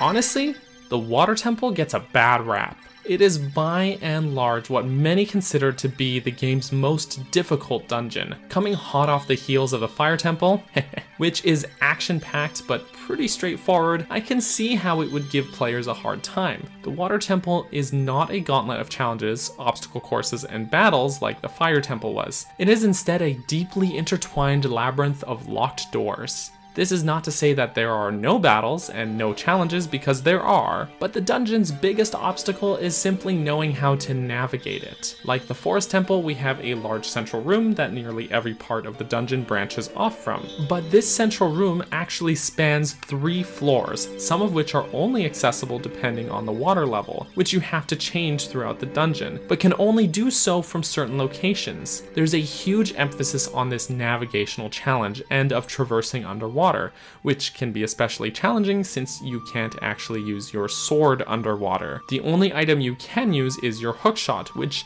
can deal some damage to your enemies, but remember that its main function is for traversal, not combat. So if you find yourself hitting locked doors, having to double back and getting mixed up turned around, then know you're not alone. You're sharing a sentiment shared by many of the Zelda community. This dungeon is the biggest challenge this game has thrown at us so far.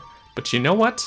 I love it. But worth a quick mention, here's some things that may alleviate your stress here. Number one, I've neglected to mention it up until now, but with King Zora Unfrozen, it's worth doing the side quest to get the Big Goron sword. It will help a lot since it does double the damage of the Master Sword. The game has actually done a really great job of teasing out this quest to us since we first emerged as Adult Link, and it's done really well. Number two, getting Farore's Wind from the Fairy Fountain near Zora's domain is also worthwhile. Farore's Wind is a warp magic. So if you find yourself deep into the depths of the dungeon, up against a locked door that you don't have a key for, you can cast the spell to make returning to this point easier. In fact, this one is the only dungeon in the entire game that I consistently find myself using this spell in.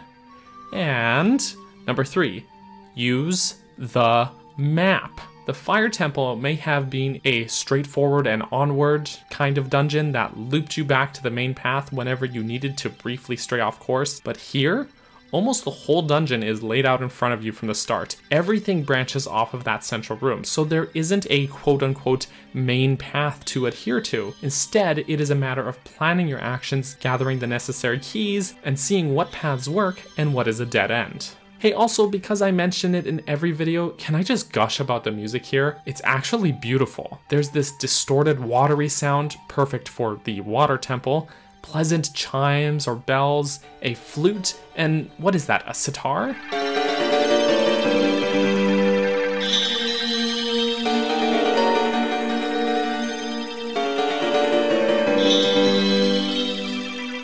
I'm not really sure, but whatever string instrument that they use here, I am totally in love with its sound. All of the instrumentation is used super well to create this brilliant ambience. There's a pleasant optimism in the bells, which cascade throughout the track, but there is also an air of danger and mystery. It's brilliant. The Water Temple doesn't have a real foyer like the previous two dungeons have had, so as soon as we enter, we are standing at the top of this big square central room. As previously mentioned, this room is massive, spanning three floors. A central tower rises through the room, which houses interior central rooms, and of course, there are so many doors. You thought having six paths from the Forest Temple's main room was a lot? There are four paths off of the first floor, three more off of the second, and four including the dungeon entrance from the third, and those are the ones branching outward. There's also two more doors for going in and out of the central tower. At least the Forest Temple's six paths only really had one that was unlocked from the get-go. Here, however, while many of them are out of reach and inaccessible, I think just this sheer volume of options right off the bat is part of what many players feel is so overwhelming about this place. My personal method is to just narrow your thinking down to just think about the floor you have at hand. If you think of this massive central room as a whole, you will drown in options. If you take it slow and break each floor down, you should be able to reduce the amount of backtracking that you need to do and avoid feeling overwhelmed. Just try to find the balance between doing that and not losing sight of the bigger picture here. So we start off coming in the entrance from the south of the third floor in the central room. While here on this third floor, there are really only three paths before us. The door to the west is locked, so don't worry about that yet. The platform to the north is completely out of reach, and so that just leaves the hallway on the east side. There isn't much to do here, but make sure you at least start this puzzle of pulling this block back into place, otherwise later you will get stuck here. So obviously the third floor didn't have much for us, so we can start to move downwards. Because of the water level being where it is, there isn't really anything we can do on the second floor either, except for zip down the hallway, again on the east end, and nab the compass. Based on the water level here and the hookshot target being where it is, I'm pretty sure that we're actually meant to get the compass later, but we might as well just grab it right away since we can. I'll admit that getting the compass before the map always feels a little weird to me, but the sooner we can see where the treasure chests are on the map, the better. Sinking all the way to the very bottom floor, we can really start to make some progress here. There are four paths outward and one inward from here. The path to the north will bring us to a locked door that is also completely out of reach, so don't even bother with that. The path on the west is blocked off from a push block that we can't push, and the southern path is also a dead end that we'll need to bomb. However, we're underwater, so obviously we can't use bombs here. So there is only one way to actually go for now, which is once again the hallway to the east. Also take note of the little landmarks that are placed around down here, such as the dips in the floor and the torches down this hallway, we'll come face to face with Princess Ruto, who, much like Link, is now all grown up. She tells you that there are three places to change the water level in the dungeon, and to follow her up to the first one. She swims upwards, but when we follow her, she is nowhere to be seen. Also, take note again the breadcrumbs and landmarks that are being left here for you. There's this barred door and bombable wall. All things to revisit when the water level is at an appropriate height. At the top of this room, we'll play Zelda's Lullaby to lower the water level, but before you go back down, don't forget to quickly go into the next room and grab yourself the map. Since this room is a dead end, the only way to go is back down the way we came. Since we lowered the water level, we can now light these torches at the bottom here to open this door. The lit torch in the middle here seems to imply that you should use your arrows, but it's just as easy to use Din's fire. Defeating the enemies in this next room will net us our very first key. Alright, so far so good. Also, since we've lowered the water level, there's quite a bit we can do on the bottom floor here. The most obvious would be to enter the central tower door, but that will only take us upwards. And as per my previous recommendation, it's best to try and clear everything out of each floor as best we can before ascending to another. So make sure to take advantage of that lower water level to explore the other paths here. The bombable floor to the south is an optional room for a gold Skulltula, the push block room will take us through a couple of rooms, including this whirlpool room, which has another key for us. That north door, however, is still totally out of reach. So now that we've got another key, we can go ahead into the central tower room. Ascending in the tower, we'll find the second place where we can change the water level. This will raise it up to the halfway point, so the bottom section is submerged, but the second and third floor are out of the water. Make sure to sink down to find another key hidden after a small underwater combat challenge at the bottom of this room. So with the water up to the second floor now, here is where I'm pretty sure we're supposed to have gotten the compass. But if you've already got it, you can instead turn your attention elsewhere. Make sure to quickly backtrack here back to that bombable wall that was halfway up the room where we met Ruto in order to nab another key. This may be one of the only hidden keys in the dungeon that I find completely counterintuitive to go out of the way for, but since the game has given us both the map and compass, at least we can see that there is a key hidden there to get. With that done, we can return to the second floor of the central room. The western door here is locked, but since the platforms here float to match the water level, it is now accessible. Don't worry about that eye switch door to the southern end of the second floor here, since the hookshot target there is also out of reach. This path actually loops us back to a small alcove at the very top of the third floor in the central room. This actually allows us to raise the water level back up to the top level as we had originally found it. But since we have a key to spare, and now that that same platform from before has floated up, the locked door on the third floor of the central room can now be accessed. Still with me? This door takes us to this waterfall room, which gives us a nice little challenge based around using the hookshot to quickly ascend up the platforms up to the other side of the room. It looks straightforward, but if you aren't quick to aim with that hookshot, then it may be more challenging than it looks. The next room has another neat hookshot puzzle that involves raising and lowering the statues that have hookshot targets on them in order to get through the room. It's neat, but not too complicated. This next door, however, takes us into this huge empty room. I love this part to bits. We can see from the map that it does have walls, but the room looks more like an empty, endless swamp. It's a strange illusion. There's nothing and nobody here, and walking across to the other end of the room, all we'll find is a locked door. Turning around, we'll see a shadowy figure under the lone tree in the center of the room, and this begins our battle against this dungeon's mid-boss, Dark Link. Okay, before we talk about the actual fight, the build-up here is just great. First of all, bit of an easy to miss detail, but when we first enter the room, we can see Link's reflection in the water, but when we pass by the tree where Dark Link appears, that reflection actually disappears. The tension here, that he appears off-screen behind you as well, is just so freaking cool. Dark Link here is probably the hardest mid-boss in the game a lot of his attacks will mirror your own, and he actually will have more health depending on how many hearts you actually have up until this point. After over two decades of playing this game, this guy still gives me a hard time, but this challenge is heavily alleviated if you got the Big Goron sword. Normally, Dark Link will block most of your attacks, However, something about using a stab attack with the Big Goron sword actually allows you to break through his defenses, since your strike is lower to the ground than it is if you use the Master Sword. So 100% definitely do recommend using that sword for this fight. Once he's defeated, the illusion will be broken and the room will fade back to its normal form. Still massive though. Our reward for defeating Dark Link is actually the long shot. The long shot is basically just the hook shot again, but with twice the range. Now, since we've seen a few hookshot targets that have been out of reach, those should be no problem now. Continuing, we'll find ourselves in this underground river looking room with these vortexes. Be careful to not get sucked in, but if you use the iron boots and hookshot well enough, then you should be just fine. At the end of this room, we will get another key, and the path drops us to the whirlpool room on the first floor so we can quickly go back to the central room, go through that eye switch hallway that we now have the long shot for, and finish the push block puzzle from the very start of the dungeon to nab one more key. Now we can duck back to the bottom, go into that northern locked door that was out of reach before, and we'll find ourselves in this room with the rolling boulders and tektites. I recommend using your bow to take out these guys before trying to cross, just to avoid taking damage. Passing through here real quick, we'll find another puzzle sort of room in which we'll need to push this block onto a switch to raise the water level.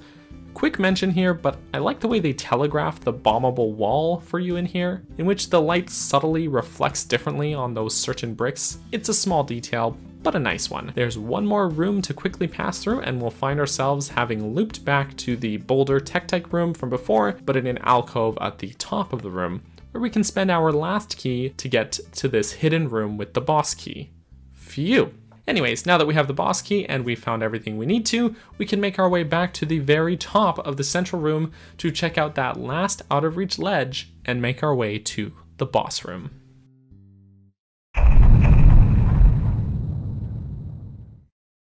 When we enter the boss room, we'll find it empty, with the exception of the pool of water here. Nothing seems out of the ordinary until Navi tells you that the water isn't normal. What? This moment strikes me as so eerie. It's one of those it's quiet, too quiet moments. If we hop onto one of the platforms here, we'll be treated to a cutscene from the boss's point of view as it rises from the water and sneaks up on Link. Then we see it.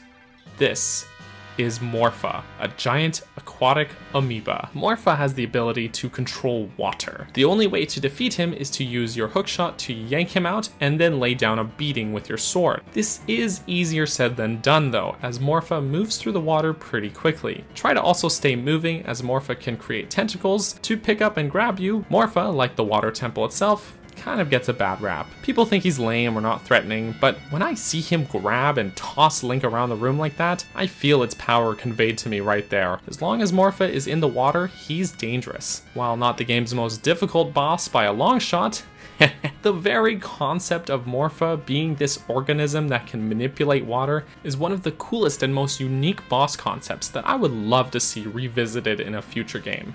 Anyways, wail on him enough and he'll go down, and quite literally, pop. The water drains from the room, we can grab our heart container and warp out. We'll find ourselves back in the Chamber of Sages, Ruto is the sage, no surprise there, and look, Lake Hylia is restored to its normal state. Hooray! Just don't forget to grab the fire arrows. So that's the dungeon. Overall, I think people are too hard on the water temple. It is definitely the game's most difficult dungeon, but I feel like that makes sense. It should be harder than those that we've already completed. Its music and atmosphere is top notch, and even though I have some gripes with its navigational aspects, as long as you stop, take a look at your map, and think about where you need to go, you should be able to manage. Some gripes though, that last locked door always trips me up. It always strikes me as counterintuitive to have to go back up to the second floor for that small key, so I almost always end up hitting this locked door, then casting Farore's Wind, and having to backtrack. At least with Farore's Wind, we can quickly return here once we've gotten that last key, but honestly, if that key were made a little less out of the way and wasn't a puzzle that you'd have to start early on, then abandon and come back to once you've gotten the long shot, then it would go a long way to make this dungeon less confusing. Raising the water level to get to the boss room is also kind of a pain as well, especially because you have to go out of your way to do so twice. Yeah, since the boss room is at the very top of the central room, you have to raise it all the way up. But to even access the room where you raise it to the top, you have to first raise it halfway. If you know what you're doing, it's not so bad, but if not, then I can understand it being an issue. That said, the dungeon is also full of great ideas, fun puzzles, and the game's very best mid-boss. It is challenging, but since when is challenge a bad thing? The fact that it makes you have to stop and think is always something that I've liked about it. It's not my favorite, but I will die on this hill when I say that it is not anywhere near as bad as people make it out to be. In fact, I like it a lot.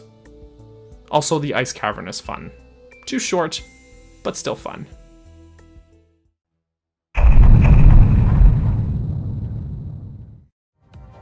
Alright, we have finished the forest, fire, and water temples. There's some debate about the quote unquote correct dungeon order at this point in the game. Navi's hint seems to imply the Shadow Temple, but if you talk to Saria via Saria's Song, she'll imply the Spirit Temple. The quest status subscreen also seems to indicate that the Spirit Temple should be next, and really, as far as progressing through their respective dungeons, the items obtained in the Shadow and Spirit Temple don't have much impact on each other. All that said, every guide I have indicates that the Shadow Temple is first, and really that's the way I've always played it. As far as the difficulty curve goes, as well as thematics in relation to the game's story, it just makes the most sense this way. Odds are it was simply changed during the game's development somewhere along the way, which is why there are some breadcrumbs to imply the older order, but I digress. Since we've beaten the Water Temple, we can trigger this cutscene in which Kakariko Village is on fire.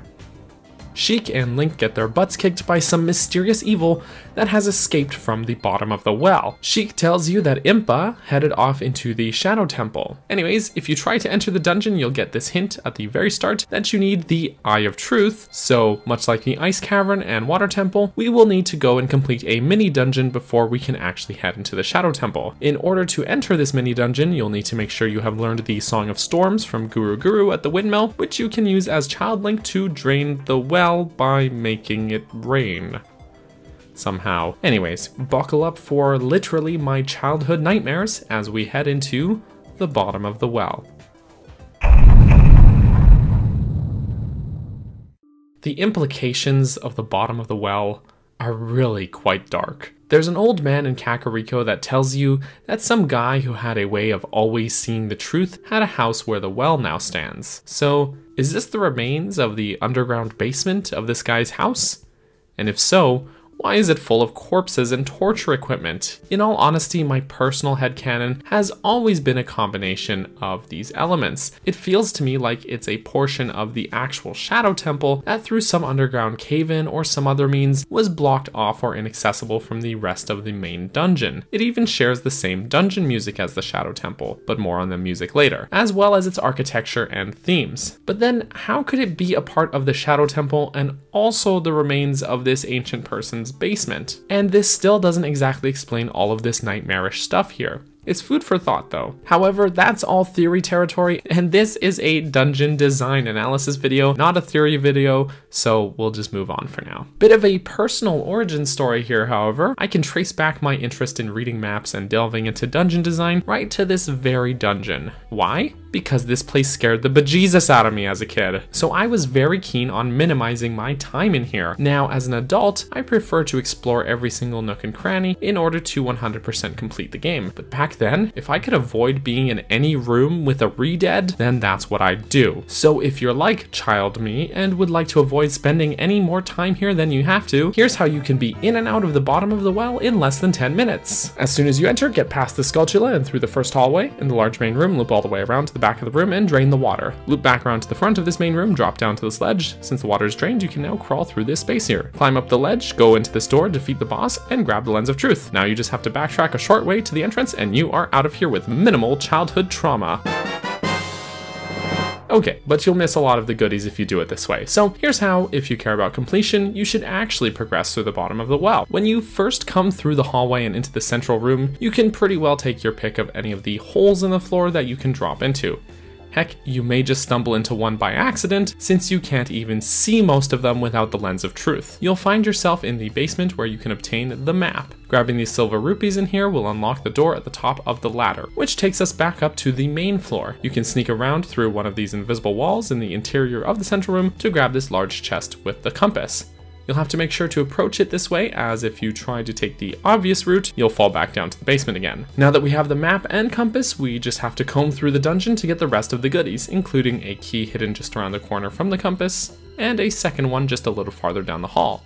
You can nab yet another key in this coffin room on the far west side of the dungeon. There's a lot of pointless treasure chests around here as well, which mostly have things like rupees or deku nuts. You can pretty well head for the boss room at this point if you want, but if you comb through the rest of those locked doors, you can grab some gold skulltulas as well. Heading into this boss room, we'll find yet another case of the old childhood nightmares. When you first enter this room, you'll find it empty with the exception of these creepy hands extending out from the ground. Nothing will happen until you let one of those hands grab you. At that point, Dead Hand will emerge. In my honest opinion, Dead Hand is hands down the most nightmarish and creepy enemy in the entire series. You can only hurt him by striking his head, but just to add to the tension and creepiness, you can only reach his head if you do the following. Let Link get grabbed by one of the hands, causing you to be unable to move. Let him approach you in his creepy little way, and wait for him to lower his head as he tries to bite you. The fact that the only way to break through his defenses is to put yourself at risk only makes this fight more scary. You can kill the hands if you want, but a new one will always regrow to take its place. The best tactic I know of is to break free from the hand's grip as quickly as you can, and then charge up a spin attack. That way, when he lowers his head, you can hit him with the powerful attack, which also has ample reach. Defeating him gets us the Lens of Truth. With the Lens of Truth in our hands, we can either use it to make sure we didn't miss any secrets, or simply head out. As just a quick note, I recommend having gotten the upgraded magic meter by this point as well, since using the Lens of Truth will allow us to see hidden secrets, invisible objects, and etc., but will do so at the cost of magic power. With that said and done, we can return to the future, use the Nocturne of Shadow, light these torches, and head into the Shadow Temple.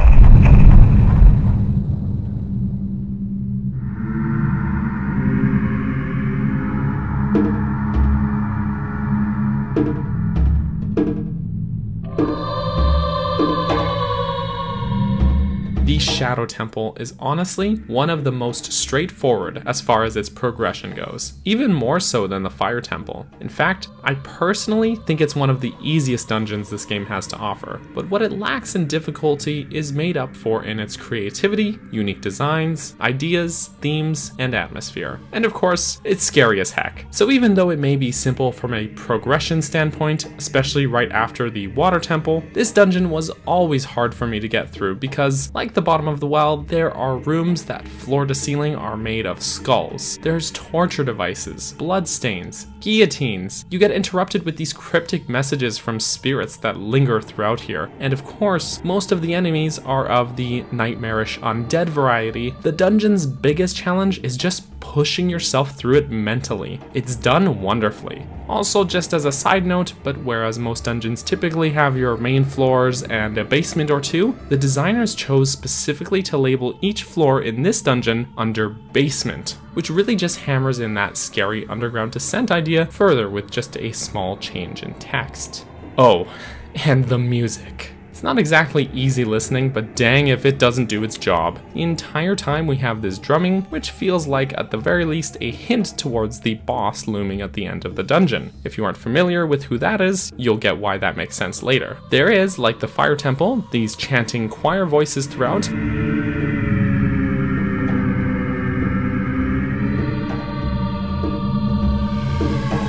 but where the fire temple sounded more like a proper choir or prayer sort of chant, these ones sound downright haunting. Literally. This would do well enough as it is, but then they hit you with this harpsichord sounding instrument that scales in and out, and it never fails to send chills down my spine.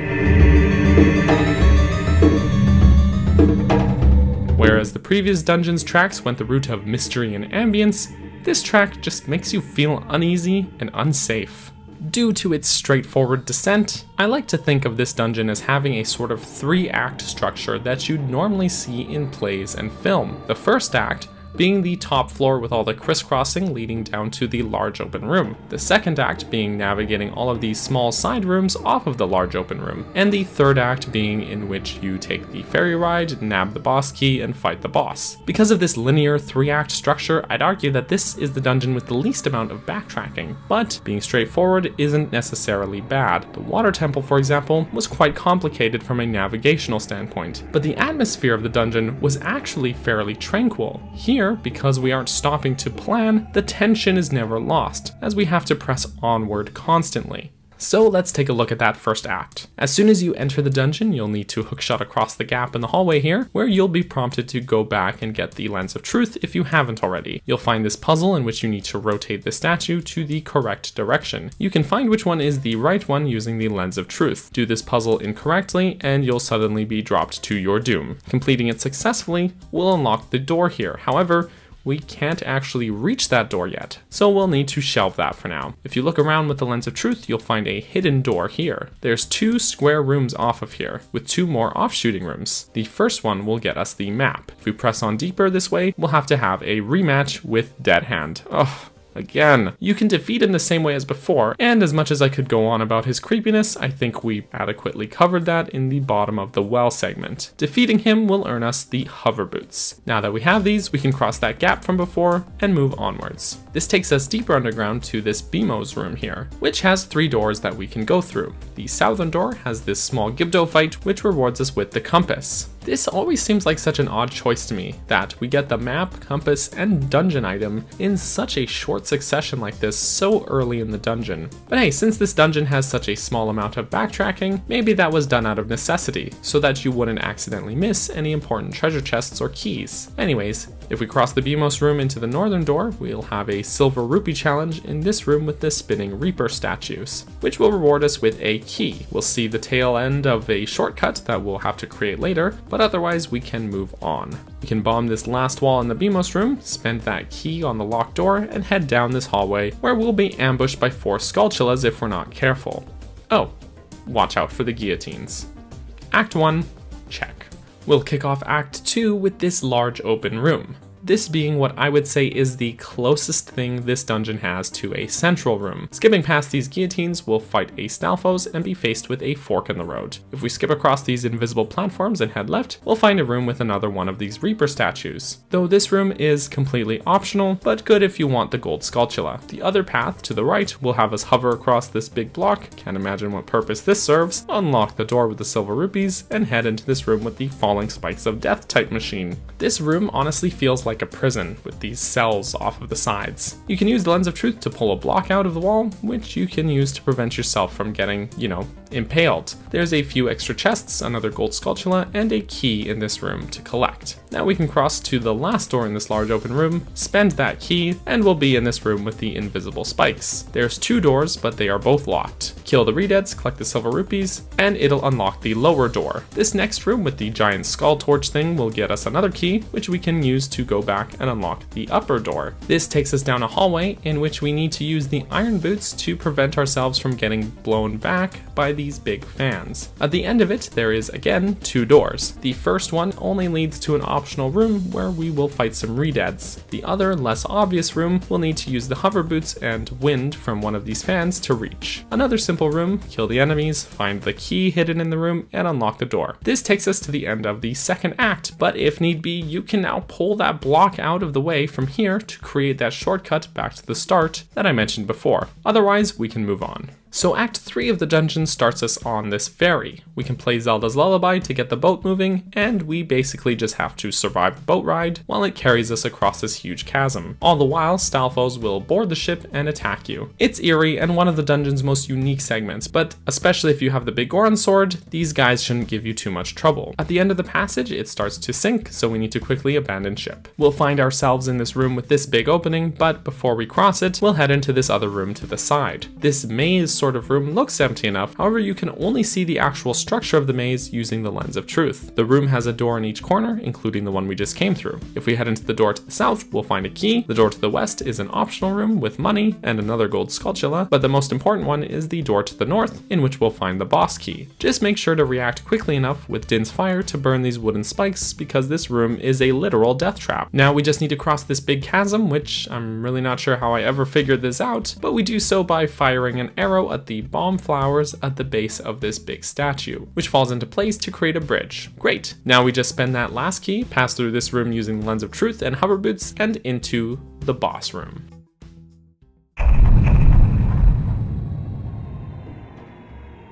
When we enter the boss room, we'll simply drop into the hole in the floor and fall down. Strangely, we take no fall damage, as we have landed on a strange floor that has a bit of bounce to it. And then the drumming starts. The ground we have landed on is a big drum, and we have just come face to face with its drummer, Bongo Bongo.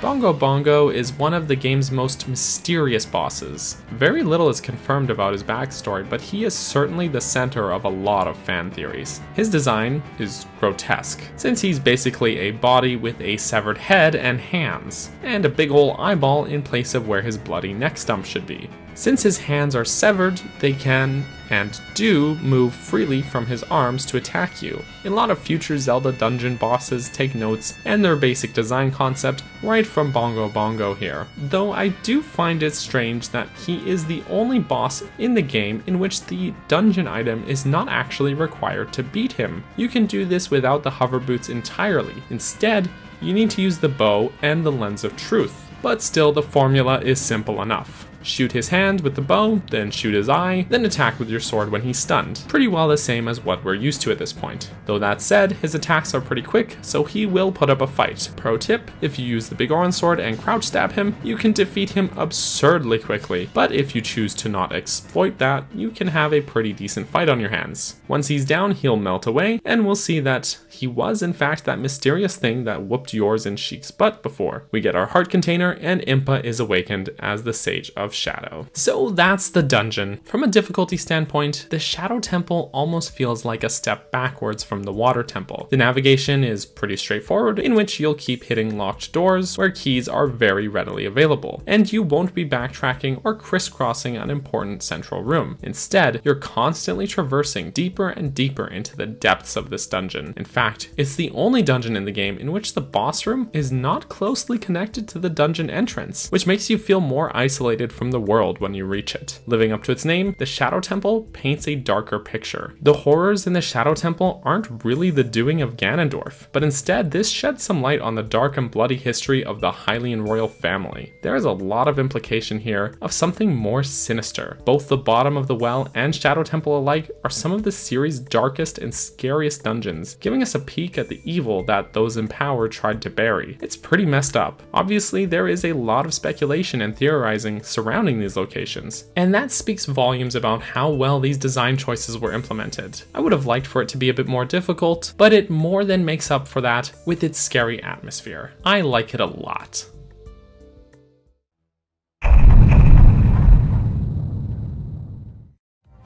Only one sage remains to be awakened at this point, and it's the first time in the game as Adult Link where we will have to tread entirely new ground. Navi gives us a nice hint saying that since Ganondorf is from the desert, we might find some clues there. Gerudo Desert was entirely inaccessible as Young Link, as the Gerudo have a blockade in place, which I guess they removed by the time we come here as Adult Link. However, the bridge over the Gerudo Valley is actually broken, so we'll need to use Epona to jump the gap in a totally worrying but really awesome moment. Side mention here, but the Gerudo Valley music is a freaking banger.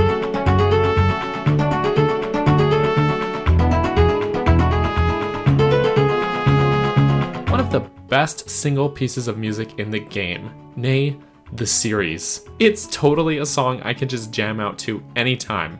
Mm, mm. Anyways, Mutoh here will tell us that his workers have all been imprisoned by the Gerudo, so he asks for your help saving them. We'll need to infiltrate the Gerudo fortress, find and free the four carpenters. Only thing is, if any of the Gerudo spot you, they'll throw you into this prison cell, without disarming you for some reason. It's easy enough to deal with, since you can just hookshot up and out of there, so it's more of an inconvenience than anything. Anyways, you shoot the Gerudo guards in the face to, um, knock them unconscious, and sneak around. When you find each carpenter, you'll have a short fight with a Gerudo guard who will drop a key you can use to free them. After finding all four carpenters, this Gerudo warrior, who I'm just going to refer to as Aveil, after her Terminian counterpart, will appear and say that she's been watching Link sneak through the fortress and is impressed by his skill. Aveil offers Link a membership to join the Gerudo tribe as an honorary sort of member, which gives us free access to the fortress training grounds, archery range, and etc. Fun bit of trivia, but in the N64 version of the game, Aveil's clothes will actually always reflect Link's. So if you change right in front of her, her clothes will change too. I always thought this was something of a reference to Zelda 1, in which Zelda's clothes actually did the same thing, but it's apparently just a glitch, which is why this no longer works in the 3DS version of the game, as well as apparently some PAL versions. Anyways, if you want to do this side content, you can. In particular, I recommend getting the ice arrows from the the Gerudo training grounds. Not that you actually need them for anything, they're entirely optional, but totally just fun to have. If you do it now, there's one key that you actually can't get without the silver gauntlets, but you will still have enough to get the ice arrows. Anyways, now the Gerudo guards will open the gate into the desert for you. You can trek through the haunted wasteland by closely following these flagpoles, and then by following this friendly Poe. And eventually, you'll come out of the sandstorm and see the desert colossus itself. A huge statue of the sand goddess, which actually houses the spirit Temple itself. However, if you try to go into the temple, you can't actually do anything. You'll need to go back out, learn the Requiem of Spirit from Sheik, so that you can warp back here as Child Link and enter the dungeon seven years in the past.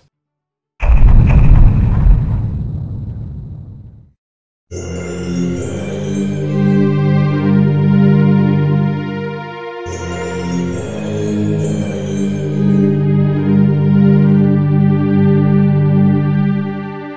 Oh man, that music.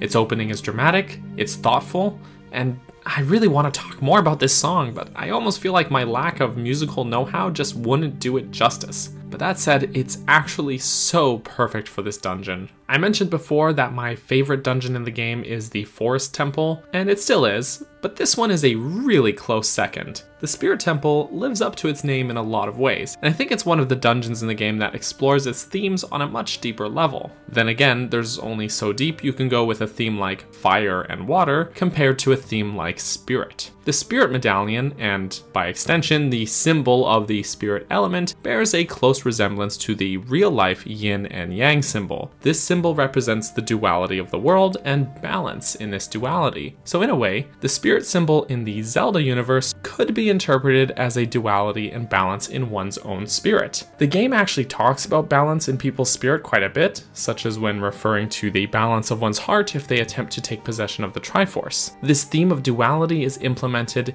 in almost every aspect of the dungeon's design as well. There are two dungeon items, two sand goddess statues, one inside and one outside. You explore the dungeon in two halves, first as child and then as adult Link. The map layout has a great deal of symmetry, mirroring itself in two halves. There are puzzles that use light, especially with the mirror shield, light and dark being a big part of the yin-yang duality. Even the boss fight itself explores duality by putting you against a literal pair of twins. The temple's themes also run opposite that of the Shadow Temple, whereas the Shadow Temple had us pretty much in friendly territory and yet was a nightmarish hostile place that showed us the darker side of Hyrule's royal family, showing us the bad that the good side is capable of. Here is the opposite. The Spirit Temple is a temple built by the Gerudo. We are told that Ganondorf and his followers have been using it as a sort of base of operations. So really, we're in the heart of enemy territory and yet the temple has a rather peaceful, tranquil atmosphere. I mean, it's still a dungeon with threats and danger and all that, but that danger isn't built into the architecture itself. So we get a glimpse here of something good that can come out of a bad place. In that sense, these last two dungeons are a duality, a balance in themselves. Let's also keep in mind that up until this point, all we've known about the Gerudo in this game is that their King Ganondorf is a pretty bad dude, and that the rest of them are known for being thieves. Yet, here we see a more thoughtful, spiritual spiritual side to the Gerudo, and that is especially embodied in Nabooru. We meet Nabooru right here in the temple's foyer. She herself is also part of a duality, a counterbalance to Ganondorf. Nabooru and Ganondorf are both leadership figures among the Gerudo. We heard about the exalted Nabooru from Aveil earlier, but where Ganondorf is this cutthroat, power-hungry, brutal figure, Nabooru is compassionate, she can be a bit coy with you in her dialogue, but she is by no means evil. In fact, she is appalled that Ganondorf would steal from women and children and go as far as killing people, and so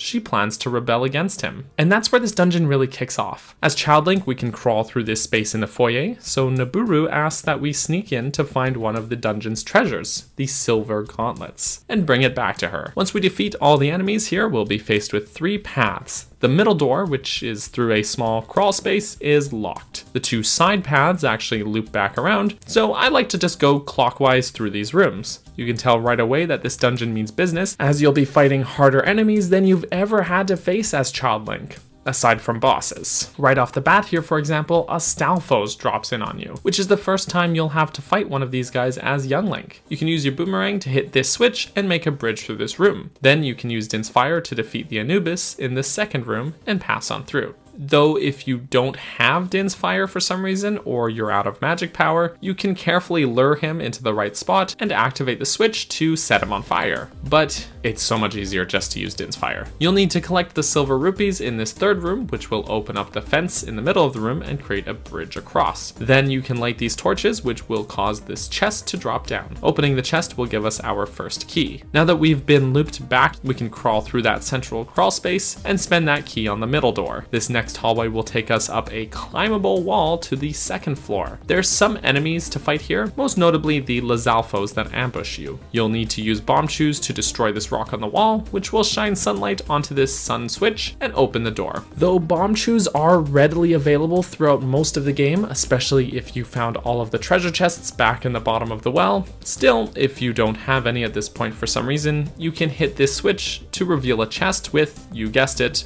Bombchus inside. This door brings us to the large central room with this huge sand goddess statue. I love the look of this room to be honest. The Gerudo text scrawled across the walls, the sand goddess towering over you, and that wonderful symmetry with these balconies. Make sure to push this Armo statue down onto the switch below, which opens the door directly above you on the top floor of this room. While you're here, make sure to drop down to the center of this room, light these torches to make a treasure chest appear, and grab yourself the map. Unfortunately, there isn't anything more that Child Link can do here, so we'll need to head to the top and head through that door that we just unlocked. Next, head through this small staircase and into the sunblock room. This room has three puzzles in one. It's great. The first and easiest one, pull this sunblock into the ray of sunlight to unlock the doors. Then destroy all the Beamos in this room and you'll be able to collect the silver rupees, which will light one of the torches. Now light the rest of the torches and a treasure chest will be revealed. Inside the chest is a small key. Now we just head through that last hallway, spend that key we just earned, and we'll be in this western throne room. Sitting motionless on the throne is a bulky armored figure. This is our mid-boss, an Iron Knuckle.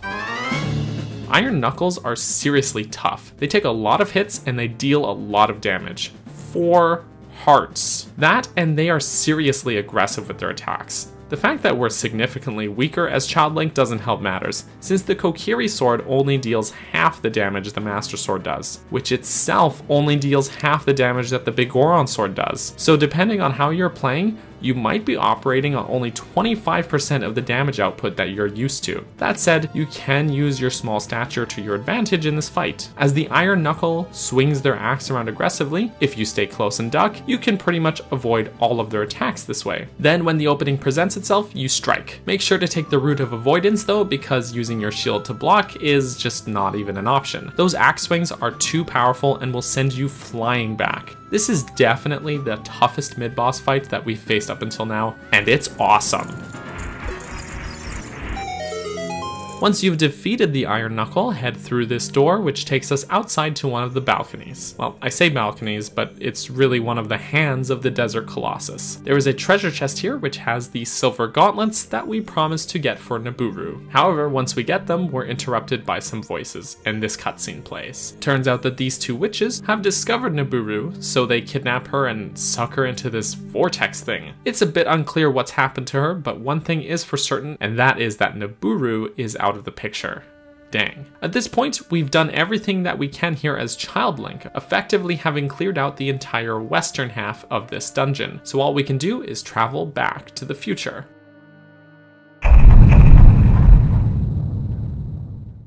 As Adult Link, we can now wear the silver gauntlets, which allows us to move or lift heavier objects than normal. So now we head back to the Spirit Temple. Of course, we can't enter the same path as before since we're too big to fit into that crawl space, but with our new silver gauntlets, we can instead push this massive block and open up the path on the eastern side of the foyer, which again has three doors, just like its western counterpart. Hitting the switch on the ceiling will unlock the two side doors, and again, we'll need to find a key for the middle door. Heading into door number one, we have a pretty straightforward puzzle. Play Zelda's Lullaby while standing on this Triforce symbol, and we can hookshot across to the treasure chest that appears, and get ourselves the compass. Heading through door number two from the Beamos room will bring us to this rolling boulder half pipe room. Collect the silver rupees once again to unlock the door. Behind the door is possibly the most pointless empty room, which has a treasure chest with a key. Just watch out for the like-like. Now we can spend that key to unlock the third door, which just like before brings us up up a hallway with a climbable wall so we can ascend to the second floor. And just like its counterpart on the western half of the dungeon, we have a hole in the wall with a sunbeam shining in. But the sun switch isn't placed right under the ray of light.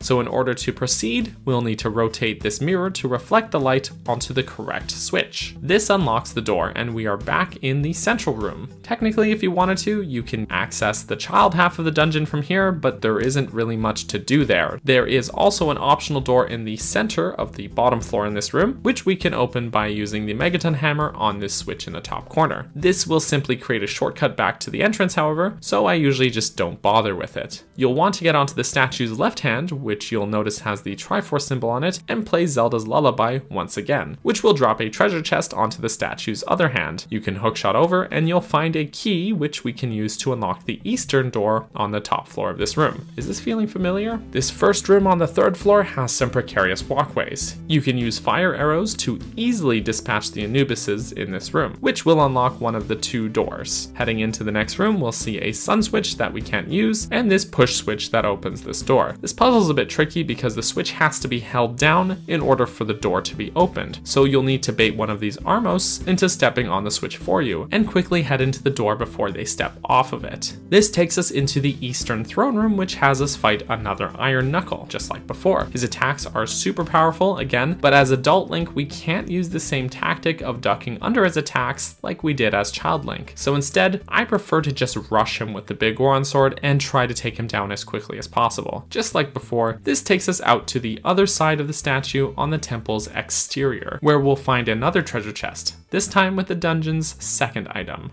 the mirror shield. Not only is this useful for those light puzzles, but it's also stylish as heck. Now we can go back into the previous room, use the mirror shield to reflect this ray of light, and activate the sun switch, which unlocks the other door, through which we'll find another key. Now we can head back into the Anubis room and unlock that second door. This is the only part of the dungeon that really deviates greatly from its western counterpart, as it takes us up farther than we could ever progress as Child Link. There's this climbable wall that shifts in place, and climbing it is pretty tricky, so I instead recommend using the hookshot to just zip up to the top. Quick mention here, but opposite the door at the top of this room is this platform with some hearts on it. It just feels so out of place to me. The model for this platform was clearly taken from the water temple, and for some reason it even has the water reflecting effect over it, despite there being no water here. It's weird. Now we're on the fourth floor, which only consists of a few small rooms. First thing we'll want to do is play Zelda's Lullaby to unlock this first door in front of us. This room almost feels like it was repurposed from the fire temple or something, having these fake doors that we can break with the hammer and these fire slugs, and of course that fire. The puzzle here is simple enough. Shoot the eye switch switch to make a platform appear, hook shot up to the platform, press the button to extinguish the flames, and you can grab the boss key from the treasure chest. Now if we head back into the hallway and into the next room, we'll find ourselves in this large mirror chamber. You can prod the switch through the gate to open the door in the adjacent room. There's a Lizalfos and some cool light reflecting puzzles. First off is a sun switch at the start of this room which drops a treasure chest with some bombs in it. Then this section where the sunlight shines down on this mirror. You need to bomb the wall here, then rotate the mirror, which reflects to another mirror which you'll also want to rotate so that it aims through the gate and back into the large mirror room. Now the sunlight should be reflecting directly onto this large mirror, so we can stand underneath it, use the mirror shield, and activate this sun switch. This causes the entire platform to lower down into the central room, taking us face to face with the statue of the sand goddess. If we use the mirror shield to reflect light onto the statue, its face will basically disintegrate, revealing a hidden door. We can hookshot across and spend the boss key to open this door. But it's not quite the boss fight yet. We'll find those two old witches again, Koume and Kotake, standing over another Iron Knuckle. They command the Iron Knuckle to attack you before disappearing. This particular Iron Knuckle is actually stronger than the previous two that we faced, but even still, we can use the same tactic to quickly defeat them, only to reveal that it was actually a brainwashed Nabooru under the armor. Twinrova appear again, noting that she is back to normal. They comment that they should brainwash her again, but when she tries to make a run for it, they zap her. It's unclear if they teleported her away or if she's dead, but once again, poor Nabooru is out of the picture too soon. Alright, we can head into the door behind her, down the hallway, and into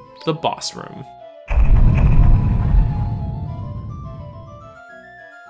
The boss room, as usual, seems empty when we first enter. The room has five raised platforms, one larger one in the center of the room and smaller ones on each side. When we climb up to the top of the central platform, Twinrova will appear through portals in the ground, which represent their respective elements. Koume with the power of fire, and Kotake with the power of ice. These two make for a really interesting boss fight, since this is basically the first time in the game in which the boss fight is not really against a big monster, but instead two powerful sorcerers adventurers. They also have a lot more personality than previous bosses as they threaten you, talk to each other, and even laugh at you if you take damage. Possessing opposite powers means they're also vulnerable to the other's attacks, so the only way to inflict damage on either of them is to use the mirror shield to reflect one of their attacks at the other one. Sounds simple enough, right? But they fly around the room a lot, and so being at an optimal position in which both are in view so that you can reasonably angle these attacks can be tricky. I do sort of feel like there's a missed opportunity here to have been able to use the fire and ice arrows on them, but I understand that from a design and thematic standpoint, they wanted to make sure you'd have to use the mirror shield. After landing enough successful attacks, Twinrova will decide to get serious and do some sort of weird fusion dance to become one being. Not quite sure how that works, or how two old ladies look younger when combined, but hey, don't you wink at me like that. For this second phase, rather than just reflecting the attacks back at them, you'll need to use the mirror shield to charge up three consecutive attacks from the same element. The mirror shield will store the energy from the charge, and after three, you can launch it back to ground her. Once grounded, you can attack with your sword. Just like with Bongo Bongo, if you crouch stab with the Big Goron sword, you can defeat them absurdly quickly. I find that strangely, this second phase of the battle is actually easier than the first, but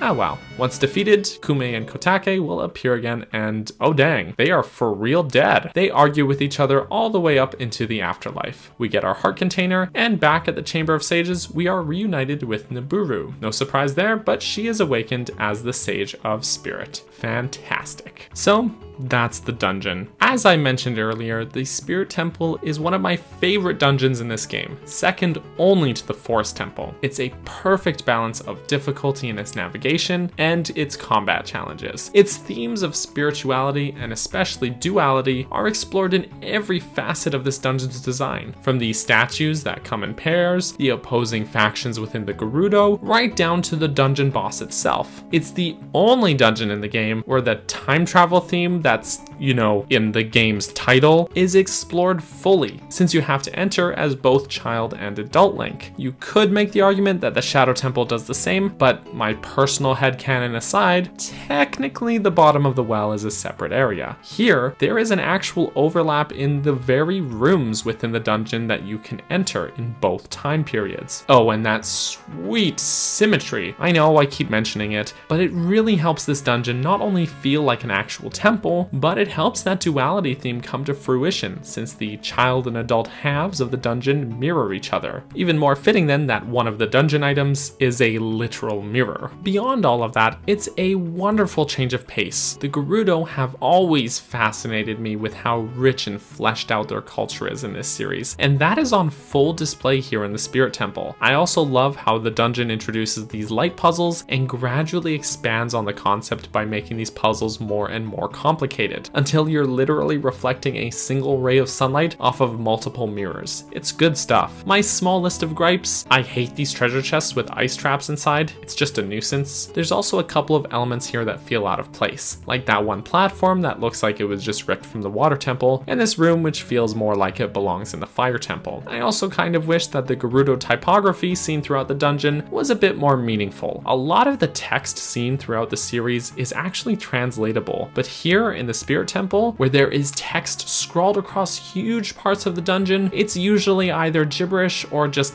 the literal alphabet repeating itself. Missed opportunity. Why develop an entire fictional language just to spell out the alphabet on the walls? But aside from those very minor things, this dungeon is just downright wonderful, mysterious, and full of details. I absolutely love it.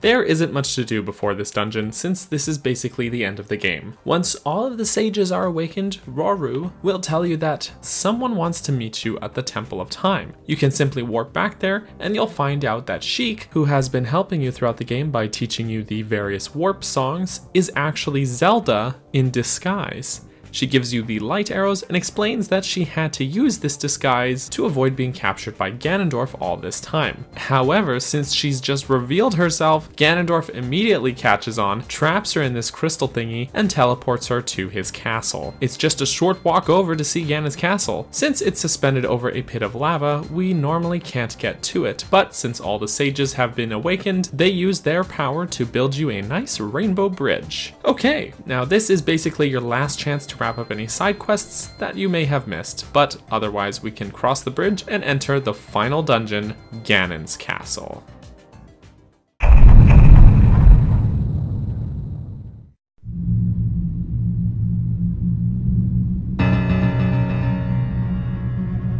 Despite being the game's final dungeon, inside Ganon's castle is one of the game's easiest dungeons. As far as difficulty goes, I would place it being only harder than Dodongo's Cavern and inside the Great Deku Tree, but that's just me. However, despite being pretty easy all in all, Ganon's castle works well as the game's finale, since it brings together and combines elements that we've been introduced to throughout the entire game. It also has a healthy balance of the old Zelda formula, having the dungeon split into two halves, with the bottom half being entirely puzzle focused, while the top half is focused on combat. Also, to quickly mention, the music in this bottom half, it is a track that I've always overlooked because it's almost entirely ambience. But if you listen closely, there's a pretty dark, eerie atmosphere captured here. The song feels like danger is lurking around the corner. It's also interesting that there seems to be bits and pieces of previous dungeon music sprinkled throughout the song. There's a wind droning sound, which sounds sounds similar to the beginning of both the Fire Temple and Ice Cavern tracks.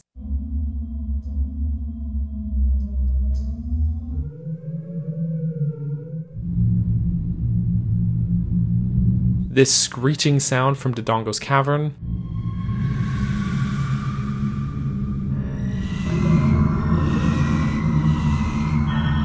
A low choir sound, which brings the Shadow Temple to mind.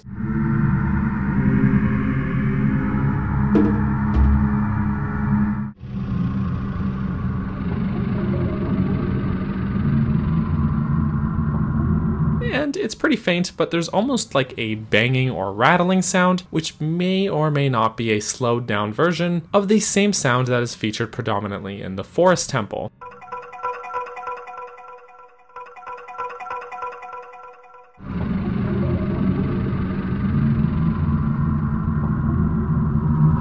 Though even I'll admit that last one is a bit of a stretch. Over all of these combined sounds is this harsh banging piano chord which really hammers in that element of danger. In all these years, this is probably the first time I've actually paid close attention to this song, and I have to admit that I'm pretty impressed with how it infuses elements from many of the game's dungeons. Despite the fact that it doesn't exactly make for a very memorable song, it definitely accomplishes its goal of creating this tense vibe. When we first enter the dungeon, we'll come down this hallway, past the two Beamos, and into the dungeon's central room. The door to go upstairs is blocked by this barrier, so in order to dispel it, we will need to take on the six challenges, which are themed after each of the sages and their elements. Mostly, that is. You can pretty much take them on in any order if you wanted to, with the exception that you definitely need to do the shadow section before the fire and light sections, because you'll need the dungeon item. So because of that restriction, I find that the easiest thing to do is to go right and tackle each of these rooms in a counterclockwise order. The first one will be the forest barrier. It's pretty straightforward, and in my opinion is only loosely related to the actual forest temple. The first room has you light these torches, which I guess you could argue is similar to the overall objective of the Forest Temple, which has you hunting Poes to relight the torches in the main room of that dungeon. You also fight a Wolfos here, which you fight in the foyer of the Forest Temple, but as far as I'm concerned, that's where the connection ends. The second room has this wind puzzle in which you have to collect silver rupees, which is a challenge encountered far more in dungeons like the Ice Cavern, Shadow, and Spirit Temple. Because of this, many speculate that this may have been left over from a cut wind dungeon, which is entirely possible. I always felt like this wind room would feel pretty at home in the Shadow Temple as well, since that's the only other place where these fans are found, and you have to use the hover boots to collect the silver rupees. Once you finish that, you can shoot a light arrow at this energy thingy, and that completes this section. Continuing on, next is the water challenge, which also doesn't have much connection to the water temple in my opinion. Instead, this feels far more like a chunk of the ice cavern. The first room has some blue flame, which we can use to melt the red ice block in the door. Just make sure to take some into the next room as well, where you'll have a time limit to complete this sliding block puzzle. It's easier than the one in the actual ice cavern, however. You just have to push this block into this hole to seal it off, then slide the other block over it, around the room, and up to the ledge melt the red ice to access this switch, which unlocks the door, behind which you can dispel the water barrier. Next is the shadow section. You can use fire arrows to light the torches, which will make platforms appear over the gap here. Just be careful of the like-like when crossing over to the ledge. You probably won't have enough time to do it all in one go, so you can relight the torch to make it across to the next ledge, and down to this switch, which makes a treasure chest appear. The timer will most likely have run out by now, but you can hookshot back to the chest and open it to obtain the golden gauntlets. The golden gauntlets are basically just an upgrade from the silver gauntlets that we just got in the spirit temple, meaning they do the same thing, but now you can lift even heavier things. Great. Now all we have to do is use the Lens of Truth to walk along this invisible pathway, hit the switch to unlock the door, and head into the next room to dispel the shadow barrier. Next is the fire challenge. There's this big old pool of lava that many of the platforms in this room will slowly sink into. This one is easy enough. Collect the silver rupees to open the door. Just make sure you already have the golden gauntlets, or you won't be able to lift this rock to get all of them. Then you can hookshot over to the door and dispel the fire barrier. The light themed section is next, but to even get to it, you once again use the golden gauntlets to lift this rock out of the way. The light section is a bit odd because there wasn't actually a light temple that we had to do in this game, so the rooms here all sort of feel like they were borrowed from other dungeons. The first room has a bunch of invisible enemies, not unlike the Shadow Temple. This hallway in the second room has us play Zelda's Lullaby to reveal a chest here. There's not a lot to go off of, but the shape of the hallway sort of reminds me of some of the hallways in the Spirit Temple. Then there's this rolling boulder room, which also reminds me of the Spirit Temple. Then finally, a fake barrier room with the real one hidden behind a fake wall, which again feels very Shadow Temple to me. Last up is fittingly the Spirit section. The first room with this Beamos has a Silver Rupee challenge, which is made more dangerous by the blade traps. In the next room, you'll want to use Bombchus to activate the switch on the other end of the gate here, in order to proceed. Then burn the web covering this light on the ceiling, and use the mirror shield to reflect light onto the correct sun switch. Now we can dispel the final barrier which opens the path to ascend upstairs. That wraps up the puzzle-centric first half of the dungeon. Just a side note, at this point now that we have the golden gauntlets, it's worth backtracking outside of the dungeon to visit the Great Fairy and get our upgraded defense, which is represented by these outlines around our hearts. This will reduce damage taken by half, so it's worthwhile to get before proceeding upstairs to the more combat-focused second half of the dungeon. Ascending the tower is very straightforward. We're basically following a winding staircase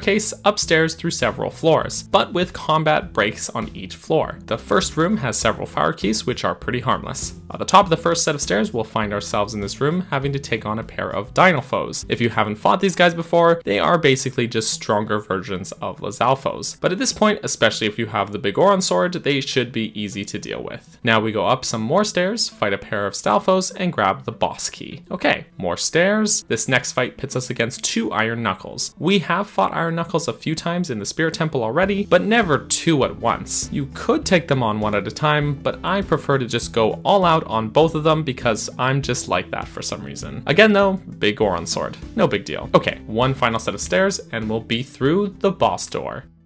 Just kidding, there's more stairs after the boss door. Despite there not being much going on while going up this long flight of stairs, I still love this moment. As we approach the top, Ganondorf's theme song gets progressively louder and louder. There's actually an in-universe reason for this aside from just building the tension, because Ganondorf is actually at the top in his room playing his own theme song on a huge pipe organ. It's a nice touch. Okay, so we made it to the top of Ganon's tower. Here we go.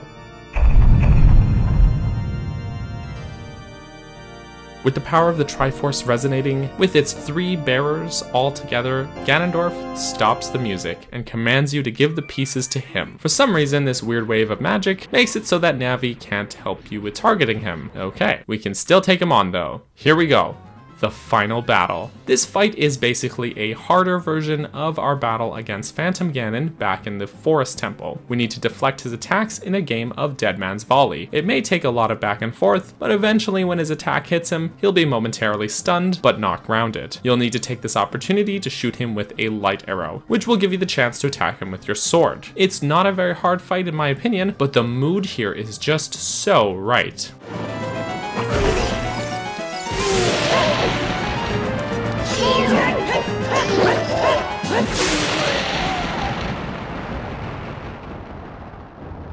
Alright, once he's defeated, his explosion of power will shatter the walls of this room apart, and he'll collapse in front of you. Zelda will be freed, and that's the end. nope. The castle starts shaking. In a last-ditch effort, Ganondorf uses his power to destroy the castle. We have a very Metroid-esque escape sequence where we have to follow Zelda out of the castle before time runs out. Only thing is that she is actually slower than you, so just stay close to her, don't go ahead of her. It's fairly straightforward as well, though there's a couple of interruptions where you have to fight some baddies, but nothing unmanageable. Once you reach the bottom, the castle is completely decimated and it's finally all over. Ah!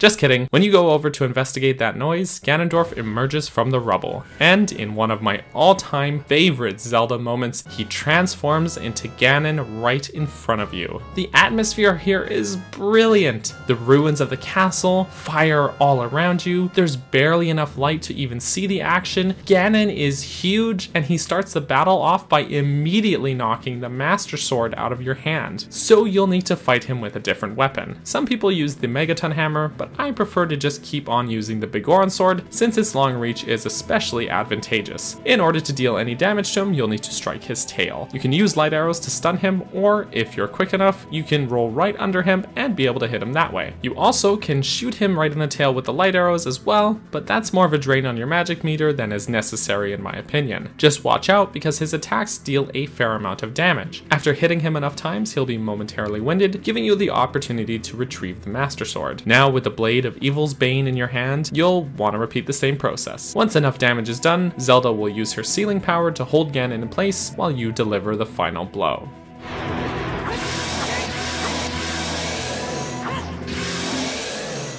Beautiful. So that's it. That's the game. We know how this goes. Ganondorf is sealed, Zelda returns us to our time, so we miss that big party, and we accidentally split the entire Zelda timeline. In all honesty, I wasn't sure if I would even do a video on this dungeon, but I'm glad I did. This final challenge ties in elements from all across the game and wraps up the story so wonderfully. The dungeon and the final battle are about as climactic as it gets. I do wish it would be a little bit more difficult, but all in all, the vibe and thematics of it more than makes up for that lack of difficulty in my opinion, and I love it to bits. That's the end for Ocarina of Time, but per many people's requests, we will be tackling more Zelda games. Originally, I considered trying to cover an entire game in a single video, but I believe that splitting it into each individual dungeon has allowed me for more time to ponder over these elements, take a deeper dive, and do this game justice. I'd like to take a quick moment here to thank you for watching this video. And special thanks goes out to my channel members here on YouTube, as well as my supporters on Patreon. You guys make this all possible. So thank you to Greymage, Brenda, Tetra, Justin, Midnight Naomi, Bunny, and Stefan, as well as all of the folks whose names you're seeing on screen right now. You guys are awesome. Thank you all so much for watching, and I hope you have a lovely rest of your day. Bye bye.